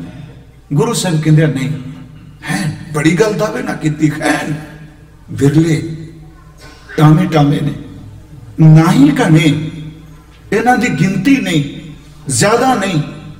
ਤੇ ਗੁਰਮੁਖੋ ਸੱਚ ਵੇ ਜਿੱਥੇ ਟਾਵੇਂ ਟਾਵੇਂ ਬਹਿ ਜਾਂਦੇ ਉੱਥੇ ਭੀੜਾਂ ਲੱਗ ਜਾਂਦੀਆਂ ਨੇ। ਹੈਣ ਵਿਰਲੇ। ਪਰ ਟਾਵੇਂ ਦੇ ਇੱਕ ਵਾਰ ਆਪ ਜੀ ਨੂੰ ਮੈਂ ਇੱਥੇ ਕਿਹਾ ਸੀ ਜੀ ਅਕਲ ਅਸੀਂ ਗੁਰੂ ਤੇਗ ਬਹਾਦਰ ਸਾਹਿਬ ਸੱਚੇ ਪਾਤਸ਼ਾਹ ਦਾ ਆਗਮਨ ਪੁਰਬ ਮਨਾਇਆ ਤੇ ਦਾਸ ਨੇ ਇੱਕ ਬੇਨਤੀ ਕੀਤੀ ਸੀ ਬੰਗਲਾ ਸਾਹਿਬੀ, ਕਿ ਗੁਰੂ ਹਰਕ੍ਰਿਸ਼ਨ ਸਾਹਿਬ ਜੀ 1664 30 ਮਾਰਚ ਨੂੰ ਆਪਣਾ ਚੋਲਾ ਮਹਾਰਾਜ ਨੇ ਬਦਲਿਆ ਜੀ। ਮੈਂ ਬਦਲੀ ਕਹਾਂਗਾ, ਤਿਆਗਿਆ ਜਾਂ ਮੈਨੂੰ ਹੋਰ ਤਰ੍ਹਾਂ ਲੱਗਦਾ ਕਿਉਂਕਿ ਭਾਈ ਸਾਹਿਬ ਕਹਿੰਦੇ ਆ ਕਿ ਅਰਜਨ ਕਾਇਆ ਪਲਟ ਕੇ ਮੂਰਤ ਹਰਗੋਬਿੰਦ ਸਵਾਰੀ। ਅਰਜਨ ਦੇਵ ਜੀ ਨੇ ਕਾਇਆ ਬਦਲ ਲਈ, ਪਲਟ ਲਈ ਨਾ, ਤੇ ਹਰਗੋਬਿੰਦ ਸਾਹਿਬ ਦਾ ਚੋਲਾ ਬਣ ਗਿਆ ਹੁਣ। ਚੋਲਾ ਪਲਟ ਰਿਹਾ। ਤਵਾਰੀ ਕਹਿੰਦੀ ਵੀ ਦਿੱਲੀ ਦੀਆਂ ਭੀੜਾਂ ਸਨ ਗੁਰੂ ਹਰਕ੍ਰਿਸ਼ਨ ਸਾਹਿਬ ਦੇ ਦਰਸ਼ਨਾਂ ਲਈ, ਦੁੱਖ ਨਿਮਰਤ ਕਰਨ ਦੇ ਲਈ। ਤੇ ਅੱਜ ਵੀ ਬੰਗਲਾ ਸਾਹਿਬ ਦੇ ਸਾਹਮਣੇ ਉਹ ਪ੍ਰਤੀਕ ਹੈ ਜੀ, ਉਹ ਨਿਸ਼ਾਨ ਹੈ, ਜਦੋਂ ਸੰਗਤ ਲੰਘਦੀ, ਉਹ ਚੁਲਾ ਲੈਂਦੀ ਹੈ। ਇਹ ਅਸਲ ਚ ਕੀ ਸੀ? ਜਦੋਂ ਮਹਾਰਾਜ ਜੀ ਇੱਥੇ ਦੁੱਖ ਨਿ- ਰੋਗ ਨਿਵਰਤ ਕਰ ਰਿਹਾ ਇਹਨਾਂ, ਮੈਂ ਇੱਕ ਬੇਨਤੀ ਕਰਾਂਗਾ, ਇਹਨਾਂ ਗੱਲਾਂ ਨੂੰ ਆਪਾਂ ਖੰਡਨ ਨਾ ਕਰੀਏ। ਮੇਰੇ ਕੋਲ ਅਨੇਕਾਂ ਉਦਾਹਰਨਾਂ ਨੇ, ਜਿੱਥੇ, ਜਿ- ਜਿਨ੍ਹਾਂ ਨੂੰ ਉਸ ਸਥਾਨ ਤੋਂ ਬਰਕਤਾਂ ਮਿਲੀਆਂ ਨੇ। ਫਿਰ ਮਹਾਰਾਜ ਦੇ ਚਰਨ ਵਿੱਚ ਬੱਚਾ ਬਣਾ ਦਿੱਤਾ, ਚਰਨ ਧੋ ਕੇ। ਜਲ ਸ਼ਕਤੀ ਸੰਗਤ ਚਰਨਾ ਅੰਮ੍ਰਿਤ ਪਰ ਕਿੰਨੀ ਭੀੜ ਸੀ? ਕਿਉਂਕਿ ਉਹਨਾਂ ਵਿੱਚ ਲੋੜਵੰਦ ਬਹੁਤ ਸਨ। ਉਹ ਸਾਰੀ ਭੀੜ ਬੰਦਗੀ ਵਾਲੀ ਨਹੀਂ। 11 ਸਾਲ ਬਾਅਦ 1664 ਨੂੰ ਇੰਨੀ ਭੀੜ ਗੁਰੂ ਹਰਕ੍ਰਿਸ਼ਨ ਸਾਹਿਬ ਲੰਘਦੇ ਨੇ ਤੇ ਪੁੱਛੋ ਕੋਈ ਨਾ ਲੋੜਵੰਦ ਆਦੀਆਂ ਪਰ 30 ਮਾਰਚ 1664 ਨੂੰ ਇੰਨੀ ਭੀੜ। 11 ਨਵੰਬਰ 1675 ਸਿਰਫ 11 ਸਾਲ ਬਾਅਦ ਉਸੇ ਜੋਤ ਦਾ ਅਗਲਾ ਵਾਰਸ ਗੁਰੂ ਤੇਗ ਬਹਾਦਰ ਸੱਚਾ ਪਾਤਸ਼ਾਹ ਜਦੋਂ ਚਾਂਦਨੀ ਚੌਂਕ ਸ਼ਹੀਦ ਕੀਤਾ ਜਾਂਦਾ, ਉਸ ਦਿਨ ਤਮਾਸ਼ ਬਿਨਾਂ ਦੀ ਭੀੜ ਹੈ ਸਿੱਧਕ ਵਾਲਾ ਇੱਕ ਭਾਈ ਜੇਤਾ ਵਿੱਚ ਖਲੋਤਾ ਹੋਇਆ ਹੈ। ਮੈਂ ਇਸ ਕਰਕੇ ਬੇਨਤੀ ਕਰਾਂ, ਮੈਨੂੰ ਪਤਾ ਭੀੜਾਂ ਬਹੁਤ ਯਾਦ ਰੱਖਿਓ, ਤੁਹਾਡੇ ਸਾਹਮਣੇ ਇਸ ਇਲਾਕੇ 'ਚ ਤੁਸੀਂ ਜਦੋਂ ਦੇ ਬੜੀਆਂ ਭੀੜਾਂ ਹੁੰਦੀਆਂ ਨੇ। ਲਹਿਰ ਦਾ ਕਦੀ ਵਜੂਦ ਨਹੀਂ ਹੁੰਦਾ, ਸਮੁੰਦਰ ਦਾ ਵਜੂਦ ਹੁੰਦਾ ਹੈ। ਸਮੁੰਦਰ ਗਹਿਰਾ ਹੈ। ਇਸ ਕਰਕੇ ਦਾਸ ਬੇਨਤੀ ਕਰੇ ਕਿ ਬੰਦਗੀ ਵਾਲੇ, ਇਬਾਦਤ ਵਾਲੇ ਥੋੜੇ ਆ, ਪਰ ਗੁਰੂ ਨਾਨਕ ਸਾਹਿਬ ਕਹਿੰਦੇ ਹੈ। ਤੇਰੀ ਬੰਦਗੀ ਵਾਲੇ ਹਨ ਮੈਂ ਲੱਭਣ ਤੁਰਿਆ ਉਹਨਾਂ ਨੂੰ। ਮੈਂ ਇੱਕ ਦਿਨ ਬੇਨਤੀ ਕੀਤੀ ਹੈ ਕਿ ਇੱਕ ਸ਼ਬਦ ਆਇਆ ਮਾਰੇ ਦਾ, ਸਿਰ ਨਾਨਕ ਲੋਕਾਂ ਪਾਮ ਹੈ। ਬਲਿਹਾਰੇ ਜਾਉ ਜੇਤੇ ਤੇਰੇ ਨਾਮ ਹੈ। ਏਡੀ ਵਿਸ਼ਾਲਤਾ। ਇਹ ਨਹੀਂ ਕਿਹਾ ਵੀ ਤੁਸੀਂ ਵਾਹਿਗੁਰੂ ਕਹੋਗੇ ਤੇ ਤਾਂ ਵਾਹਿਗੁਰੂ, ਆਪਾਂ ਤਾਂ ਕਹਿਣੀ ਹੈ ਨਾ। ਮਹਾਰਾਜ ਕਹਿੰਦੇ ਆ, ਸਿਰ ਨਾਨਕ ਲੋਕਾਂ ਪਾਵ ਹੈ। ਇਹਦੇ ਅਰਥ ਨੇ ਉਹਨਾਂ ਲੋਕਾਂ ਦੇ ਪਾਮ ਦਾ ਅਰਥ ਚਰਨਾਂ ਵਿੱਚ ਨਾਨਕ ਦਾ ਸਿਰ ਹੈ। ਬਲਿਹਾਰੇ ਜਾਉ ਜੇਤੇ ਤੇਰੇ ਨਾਮ ਹੈ। ਜਿੰਨੇ ਜਿੰਨੇ ਤੇਰੇ ਨਾਮ ਲੈ ਕੇ ਤੈਨੂੰ ਕੂਕਦੇ ਨੇ ਮੈਂ ਸਭ ਤੋਂ ਕੁਰਬਾਨ ਜਾਵਾਂ ਉਹਨਾਂ ਜਪਣ ਵਾਲਿਆਂ ਦੇ ਸਿਰ ਤੇ ਪੈਰਾਂ ਵਿੱਚ ਮੈਂ ਆਪਣਾ ਸਿਰ ਰੱਖਦਾ ਵਾਂ ਗੁਰੂ ਸਾਹਿਬ ਕਹਿੰਦੇ ਆ, ਨਹੀਂ ਦਾਵੇ ਨਾ ਕਹੋ ਹੈ ਨਾ ਜੀ ਵੀ ਸਿੱਖ। ਕਿਉਂਕਿ ਜੀ ਕਹਿੰਦੇ ਆ ਵੀ ਸਿੱਖ ਖਤਮ ਹੋ ਗਏ ਜੀ? ਇਹ ਮਕੀਰ ਨੇ ਪਾਣੇ ਆਪਾਂ ਸਟੇਜਾਂ ਤੇ। ਵੈਗੁਰੂ ਜੀ ਖਾਸ ਕਰਕੇ ਇੱਥੇ ਗੁੱਸਾ ਨਾ ਕਰਿਓ ਇਸ ਗੱਲ ਦਾ। ਨਹੀਂ ਜੀ ਸਭ ਕੁਝ ਖਤਮ ਹੋ ਗਿਆ। ਬਿਲਕੁਲ ਨਹੀਂ। ਮੇਰਾ ਗੁਰੂ ਕਹਿੰਦਾ ਹੈ ਪਰ ਥੋੜੇ ਥੋੜੇ ਨੇ ਭੀੜਾਂ ਨੇ ਉਹਨਾਂ ਥੋੜਿਆਂ ਕਰਕੇ ਪੰਥ ਦੀ ਜੈ ਜੈਕਾਰ ਹੈ। ਇਬਾਦਤ ਹੈ। ਹੈਨ ਵਿਰਲੇ ਨਾ ਹੀ ਕਹਨੇ ਮੈਂ ਜ਼ਿਆਦਾ ਪੋਜ਼ਿਟਿਵ ਬੋਲਿਆ ਅੱਗੇ ਹੁਣ ਇੱਕ ਪੱਖ ਲੈ ਲਈਏ। ਫੈਲ ਫਕੜ ਸੰਸਾਰ। ਫੈਲ ਦਾ ਅਰਥ ਅਡੰਬਰ ਪਖੰਡ ਵਾਲੇ ਵੀ ਨੇ। ਉਹ ਵੀ ਬਹੁਤ ਨੇ, ਜਿਹੜੇ ਧਰਮ ਦੇ ਥੱਲੇ ਬੁਰਕੇ ਪਾ ਕੇ ਬਦ ਚਲਨੀ ਬਦਕਾਰੀਆਂ ਕਰਦੇ ਆ ਵਿਚਾਰੀ ਨੇ। ਜ਼ਬਾਨ ਤੋਂ ਭੈੜਾ ਬੋਲਦੇ ਉਹਨਾਂ ਦੀਆਂ ਪੀੜਾਂ ਨੇ। ਆਸਾ ਕੀ ਵਾਰ ਚੁੱਕ ਬਚਨ ਲੈ ਲਓ। ਇਹਦੇ ਅਰਥ ਬੜੇ ਸੋਹਣੇ ਆਖੋ ਦੋਵੇਂ ਚੀਜ਼ਾਂ ਆ ਜਾਣਗੀਆਂ। ਜਿਹੜੇ ਫੈਲ ਫਕੜ ਸੰਸਾਰ ਨੂੰ ਉਹਨੂੰ ਮਹਾਰਾਜ ਕਹਿੰਦੇ ਆ, ਅੰਦਰੋਂ ਝੂਠੇ, ਪੈਜ ਬਾਹਰ, ਅੱਗੇ ਕੀ ਦੁਨੀਆ ਅੰਦਰ, ਫੈਲ, ਇਸੇ ਫੈਲ ਤੋਂ ਮੈਂ ਇਹ ਅਰਥ ਚੁੱਕਿਆ। ਉਂਝ ਮੈਨੂੰ ਪਤਾ ਹੈ, ਇਹ ਤੇ ਫੈਲ ਦਾ ਅਰਥ, ਇਹ ਗਿਆਨੀ ਜਰਬੰਸ ਸਿੰਘ ਉਹਨਾਂ ਨੇ ਬਦਫੈਲੀਆਂ ਵੀ ਕੀਤਾ ਜਦੋਂ ਆਸਾ ਕੀ ਵਾਰ ਚ ਵਿੱਚ ਫੈਲ ਸ਼ਬਦ ਹੁੰਦਾ ਹੈ, ਉਹਦਾ ਅਰਥ ਵਿਖਾਵਾ ਅੰਦਰੋਂ ਝੂਠੇ ਪੈਜ ਬਾਹਰ ਬਾਹਰ ਬੜੀ ਇੱਜ਼ਤ, ਠਾਠਾ ਬਾਗ ਅੰਦਰੋਂ ਝੂਠੇ ਪੈਜ ਬਾਹਰ, ਦੁਨੀਆ ਅੰਦਰ ਫੈਲ। ਅੱਠ ਸੱਤ ਤੀਰਥ ਜੇ ਨਾ ਵਹਿ, ਉਤਰੈ ਨਾਹੀ ਮੈਲ। ਹੁਣ ਅਗਲਾ ਬਚਨ ਹੈ ਖੈਣ ਵਿਰਲੇ। ਏਸੀ ਪੈਲ ਪਕੜ ਸੰਸਾਰ ਅੰਦਰੋਂ ਝੂਠੇ। ਹੈਣ ਵਿਰਲੇ, ਇਹਨਾਂ ਨੂੰ ਮਹਾਰਾਜ ਕਹਿੰਦੇ ਜਿਨ ਪਟ ਅੰਦਰ ਬਾਹਰ ਗੁੱਦੜ, ਨਾਹੀ ਕਣੇ। ਜਿਨ੍ਹਾਂ ਦੇ ਅੰਦਰ ਪਰਮੇਸ਼ਵਰ ਦੇ ਨਾਮ ਦੀ ਰੇਸ਼ਮ ਹੈ। ਬਾਹਰ ਸੱਚਮੁੱਚ ਇੱਕ ਗੋਦੜੀ ਕੈ ਪਾਟੀਆਂ ਲੀਰਾਂ ਨੇ, ਜਿਨ ਪਟ ਅੰਦਰ ਬਾਹਰ ਗੁੱਦੜ, ਤੇ ਭਲੇ ਸੰਸਾਰ, ਤਿਨ ਨਿਹੋ ਲੱਗਾ ਰੱਬ ਸੇਤੀ ਦੇਖਣਾ ਵਿਚਾਰ ਰੰਗ ਹੱਸੈ, ਰੰਗ ਰੋਵੇਂ, ਚੁੱਪ ਪੀ ਕਰ ਜਾਹੇ, ਪਰਵਾਹ ਨਾਹੀ ਕਿਸੇ ਕੇਰੀ ਬਾਜ ਸੱਚੇ ਨਾ ਨੰਨੇ ਕੰਨਾ ਹਾਹਾ ਨਾ ਨਾ ਦਾ ਅਰਥ ਖਸਮ। ਗੁਰਮਖੋ, ਜਿਹੜਾ ਇਹ ਵਖਾਵਾ ਹੈ ਪਖੰਡ ਹੈ ਦਾਸ ਤਾਂ ਇੱਕ ਦਿਨ ਬੇਨਤੀ ਕਰਦਾ ਸੀ, ਪਰ ਪੰਚ ਬੜੀ ਚਲੀ ਫੈਲਦਾ ਹੈ। ਜਿਹੜਾ ਟੱਕਿਆ ਹੈ, ਉਹ ਹੀ ਅਸਲੀਅਤ ਕਹੀ ਜਾਂਦੇ ਆ। ਇੱਕ ਦੋ ਉਦਾਹਰਨਾਂ ਮੈਂ ਦੇਖ ਕੇ, ਕਿਉਂਕਿ ਅੱਜ ਵੀ ਜਿੰਨਾ ਮਰਜ਼ੀ ਕਹੋ ਸਾਇੰਸ ਪਰ ਫਿਰ ਵੀ ਬੰਦਾ ਚਮਤਕਾਰਾਂ ਨੂੰ ਉਠੀਆਂ ਰੱਖਦਾ ਵੀ ਆ ਇਸ ਤਰ੍ਹਾਂ ਵਿਖਾਏ, ਕੋਈ ਇਸ ਤਰ੍ਹਾਂ ਵਿਖਾਏ, ਮੌਜਾ ਵਿਖਾਏ। ਤੇ ਦਾਸ ਇੱਕੋ ਬੇਨਤੀ ਕਰਦਾ ਹੈ ਕਿ ਗੁਰੂ ਘਰ ਵਿੱਚ ਸਿਰ ਦਿੱਤਾ ਜਾਂਦਾ ਪਰ ਨਾਟਕ ਚੇਟਕ ਨਹੀਂ ਦਿਖਾਏ ਗਏ ਨਾਟਕ चेटक किए कुकाजा प्रभ लोगन को प्रभ लोगन के आवत लाजा ਨਹੀਂ ਇਹ ਨਹੀਂ ਕੀਤਾ ਫਿਰ ਆਪਾਂ ਕਹਾਂਗੇ ਜੀ ਦੁੱਖ ਆਇਆ ਸੁੱਖ ਆਇਆ ਇੱਕ ਦਾਸ ਨੂੰ ਇੱਕ ਵਾਰੀ ਕਿਸੇ ਪੁੱਛਿਆ ਵੀ ਇੰਨੀ ਤ- ਤੱਤੀ ਤਵੀ ਤੇ ਬੈਠੇ ਇਸ ਤਰ੍ਹਾਂ ਹੋਇਆ ਇਸ ਤਰ੍ਹਾਂ ਹੋਇਆ ਮੈਂ ਇੱਕੋ ਬੇਨਤੀ ਕੀਤੀ ਸਭ ਤੋਂ ਵੱਡੀ ਕਰਾਮਾਤ ਵਾਪਰੀ ਉਹ ਸੱਚਮੁੱਚ ਅੱਗ ਦੇਖ ਕੇ ਇਬਰਾਹਿਮ ਨੇ ਵੀ ਕਿਹਾ ਸੀ ਅੰਗਾਰ ਗੁਲਜ਼ਾਰ ਬਣ ਜਾਏ ਅਸੀਂ ਕਹਿੰਦੇ ਆ ਅੱਗ ਦਾ ਸੁਭਾਅ ਬਦਲ ਦਿੱਤਾ ਪ੍ਰਹਿਲਾਦ ਜੀ ਦਾ। ਪਰ ਧੰਨ ਗੁਰੂ ਅਰਜੁਨ ਦੇਵ ਸ਼ਹੀਦਾਂ ਦੇ ਸਰਚਾਜ ਬਣ ਗਏ। ਉਹਨਾਂ ਕਿਹਾ, ਅੱਗ ਵੀ ਸੁਭਾਅ ਨਾ ਬਦਲੇ, ਤਵੀ ਵੀ ਸੁਭਾਅ ਨਾ ਬਦਲੇ, ਪਾਣੀ ਤੇ ਰੇਤ ਵੀ ਸੁਭਾਅ ਨਾ ਬਦਲੇ, ਜ਼ਾਲਮ ਵੀ ਤਰਸ ਨਾ ਖਾਏ। ਇਹਨਾਂ ਸਾਰਿਆਂ ਵਿੱਚ ਇੱਕ ਬ੍ਰਹਮ ਗਿਆਨੀ ਬੈਠਾ ਜਿਹਦੇ ਅੰਦਰ ਨੂੰ ਕੋਈ ਤਪਾ ਹੀ ਨਹੀਂ ਸਕਦਾ। ਇਦੋਂ ਵੱਡੀ ਕਰਾਮਾਤ ਕੀ ਹੋਵੇਗੀ ਜੀ? ਇਹ ਅੰਦਰੂਨੀ ਹੈ ਨਾ। ਇਹਦੀ ਸਮਝ, ਬ੍ਰਹਮ ਗਿਆਨੀ ਕੀ ਗਤ ਬ੍ਰਹਮ ਗਿਆਨੀ ਜਾਣੇ ਇੱਕ ਉਦਾਹਰਨ ਸਿਰ ਦੇ ਕੇ ਭਾਈ ਸਾਹਿਬ ਨਾਲ ਤੁਹਾਡੇ ਦਰਸ਼ਨ ਵੀ ਆਪਣਾ ਕਰੋ, ਸਮਾਨ ਕੱਢੋ ਬਸ। ਕਿਉਂਕਿ ਮੈਂ ਕੱਲ ਕਿਹਾ ਸੀ ਵੀ ਸੰਗਤ ਟਾਈਮ ਹੋਣਾ ਹੁੰਦਾ ਪਰ ਟਾਈਮ ਜ਼ਰੂਰ ਲਵਾਇਓ ਰੋਜ਼। ਹਾਂਜੀ, ਰੋਜ਼ ਲਵਾਇਓ। ਤੇ ਹੁਣ ਤਿਆਰੀ ਨਾਲ ਕਰ ਲਾਂਗੇ ਮਿੰਟ ਦੋ ਕੁ ਲੈਣੇ ਆ। ਸਮਾਂ। ਕਿਉਂਕਿ ਜਿਹੜੀ ਬਾਹਰ ਦੀ ਗੱਲ ਹੈ ਨਾ ਸਾਰੀ, ਮੰਨ ਲਓ ਇੱਕ ਬੰਦਾ ਜੰਗਲ 'ਚ ਰਹਿੰਦਾ ਜੀ। ਇਹ ਅਜੇ ਵੀ ਇੱਕ ਤੁਸੀਂ ਕਦੇ YouTube ਤੇ ਚਲੋ ਮੈਂ ਮੈਂ ਕਦੇ ਇੰਨਾ ਵਰਦੀਆਂ ਨਹੀਂ ਚੀਜ਼ਾਂ, ਜੰਗਲ ਵਾਲਾ ਬਾਬਾ ਪਾਇਓ। ਨਗਨ ਹੈ ਜੈਨੀ ਜੰਗਲ 'ਚ ਬੈਠਾ ਲੋਕੀ ਜਾਂਦੇ ਮੱਥਾ ਟੇਕਦੇ ਉਹਦੀ ਖੂਬੀ ਹੈ ਜੰਗਲ 'ਚ। ਗੁਰੂ ਗੋਬਿੰਦ ਸਿੰਘ ਦਾ ਇੱਕ ਕਵਿਤੇ ਹਾਸ ਰਸਤਾ। ਮਹਾਰਾਜ ਕਹਿੰਦੇ ਕਹਿੰਦੇ ਕਈ ਜੰਗਲ 'ਚ ਰਹਿੰਦੇ ਆ, ਉਹਨਾਂ ਦੀ ਇਸੇ ਕਰਕੇ ਜੈ ਜੈਕਾਰ। ਤੇ ਮਹਾਰਾਜ ਕਹਿੰਦੇ ਸਾਰੇ ਭੂਤ ਬਾਤ ਜੰਗਲ 'ਚ ਤੁਰੇ ਫਿਰਦੇ ਨੇ ਵੀ ਤੇ ਫਿਰ ਬ੍ਰਹਮ ਗਿਆਨੀ ਹੋਏ ਨਾ। ਹੁਣ ਕੋਈ ਕਹਿੰਦਾ ਜੀ, ਇਹਨਾਂ ਨੇ ਜਿੱਦਨ ਦੇ ਜੰਮਿਆ ਦੁੱਧ ਤੋਂ ਬਿਨਾ ਕੁਝ ਨਹੀਂ ਪੀਤਾ। ਇਹਨਾਂ ਦੰਦਾਂ ਨਾਲ ਚਿੱਠੀ ਕੁਝ ਨਹੀਂ। ਇਹ ਦੁੱਧ ਹੀ ਪੀਂਦੇ ਆ। ਹੁਣ ਮੈਂ ਬੇਨਤੀ ਜੇ, ਫੈਲ ਫਕੜ ਸੰਸਾਰ ਕੀ ਦੁਨੀਆ ਚੱਲਦੀ? ਤੇ ਮਹਾਰਾਜ ਕਹਿੰਦੇ ਇੱਥੇ ਜਿੰਨੇ ਨਿਆਣੇ ਪਹਿਲਾਂ ਜੰਮਦੇ ਨੇ, ਮਾਂ ਦਾ ਦੁੱਧ ਹੀ ਪੀਂਦੇ ਨੇ ਕਈ ਕਈ ਮਹੀਨੇ। ਇਹ ਕੀ ਪੈਮਾਨਾ ਹੋ ਗਿਆ? ਅਗਲੇ ਜੀ, ਇਹ ਤੇ ਦੁੱਧ ਵੀ ਨਹੀਂ ਪੀਂਦੇ। ਇਹ ਤਾਂ ਸਿਰਫ ਸੈਲਡ ਹੀ ਖਾਂਦੇ ਆ, ਵਾਹਿਗੁਰੂ ਜੀ। ਚਲੋ, ਇਹ ਨਹੀਂ ਕਿਸੇ ਨੂੰ ਬਿਮਾਰ ਹੋਵੇ। ਉੱਥੇ ਜੀ, ਇਹ ਕੰਦਮੂਲ ਹੀ ਖਾਂਦੇ ਆ, ਪੱਤੇ ਖਾਂਦੇ ਆ ਜੀ। ਇਹ ਫਲ ਹੀ ਖਾਂਦੇ ਆ। ਤੇ ਮਹਾਰਾਜ ਕਹਿੰਦੇ ਆ ਆ ਸਾਰੇ ਢੱਗੇ ਜਿਹੜੇ ਨੇ ਤੇ ਖੁਰਲੀ ਤੇ ਤੂੜੀ ਖਾਂਦੇ ਪਏ। ਢੱਗੇ ਸ਼ਬਦ ਮੈਂ ਜਾਣ ਕੇ ਵਰਤਿਆ ਜੀ, ਉਦੋਂ ਹੀ ਵਰਤਿਆ ਸੀ। ਜੀ। ਇਹ ਇਹ ਜਲਨ ਨੇ ਸ਼ਬਦ ਨਿੱਕੇ ਹੁੰਦੇ ਢੱਗੇ ਚਾਰੇ ਵੱਡੇ ਕੋਇਆ ਹਲਵਾਇਆ ਹਾਂਜੀ? ਹਾਂ, ਢੱਗਾ ਸ਼ਬਦ ਬੜਾ ਸਾਡੇ ਮਾਝੇ 'ਚ ਪਹਿਲਾਂ ਬਲਦੇ ਸਨ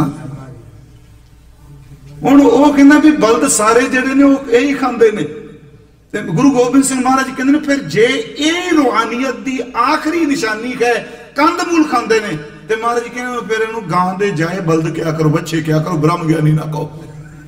ਤੇ ਵਾਹਿਗੁਰੂ ਜੀ, ਮੈਂ ਅਰਥ ਕਰਾਂਗਾ ਸਾਰੇ। ਅਗਲੇ ਮਹਾਰਾਜ, ਅਗਲੇ ਸ਼ਬਦ ਵਰਦੇ ਜੀ, ਇਹ ਜੀ ਇੱਕੋ ਦਮ ਬੋਡੀ ਚ ਉੱਤੇ ਉੱਡ ਜਾਂਦਾ ਹੈ। ਮਹਾਰਾਜ ਕਹਿੰਦੇ ਕਾਂ ਵੀ ਤੇ ਉੱਡ ਜਾਂਦਾ ਇਹ ਕੀ ਰੂਹਾਨੀਅਤ ਹੈ? ਅਗਲਾ ਬਚਨ ਜੀ, ਇਹ ਤਾਂ ਬਿਲਕੁਲ ਜਦੋਂ ਬਹਿੰਦਾ ਹੈ ਨਾ 8 ਘੰਟੇ ਨਿਗਾਹ ਡਗਾ ਦਿੰਦਾ। ਤੇ ਮਹਾਰਾਜ ਕਹਿੰਦੇ, ਬਿੱਲਾ ਤੇ ਬਗਿਆੜ ਦੋਵੇਂ ਐ ਟੇਕ ਕੇ ਬਹਿੰਦੇ ਆ। ਬਗਲਾ ਵੀ।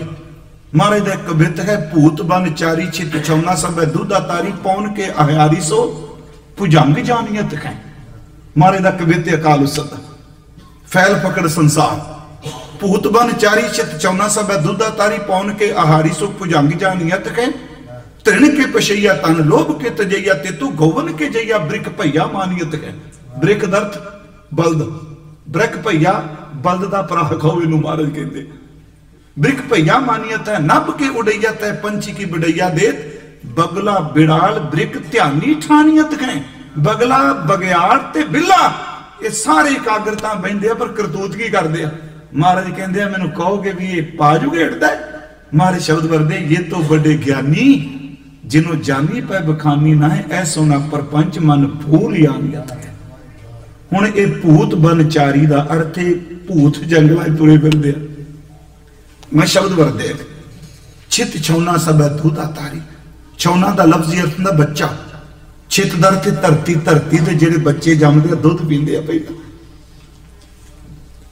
ਤ੍ਰਿਣ ਕੇ ਪਸ਼ਈਆ, ਤ੍ਰਿਣ ਪਸ਼ਈਆ ਦਰ ਤੇ ਖਾਣਾ। ਇਹ ਤਿਣਕੇ ਖਾਂਦਾ ਇਹ ਫਲ, ਇਹ ਪੱਠੇ ਖਾਂਦਾ ਤੇ ਤੇ ਗੌਵਨ ਕੇ ਜਈਆ।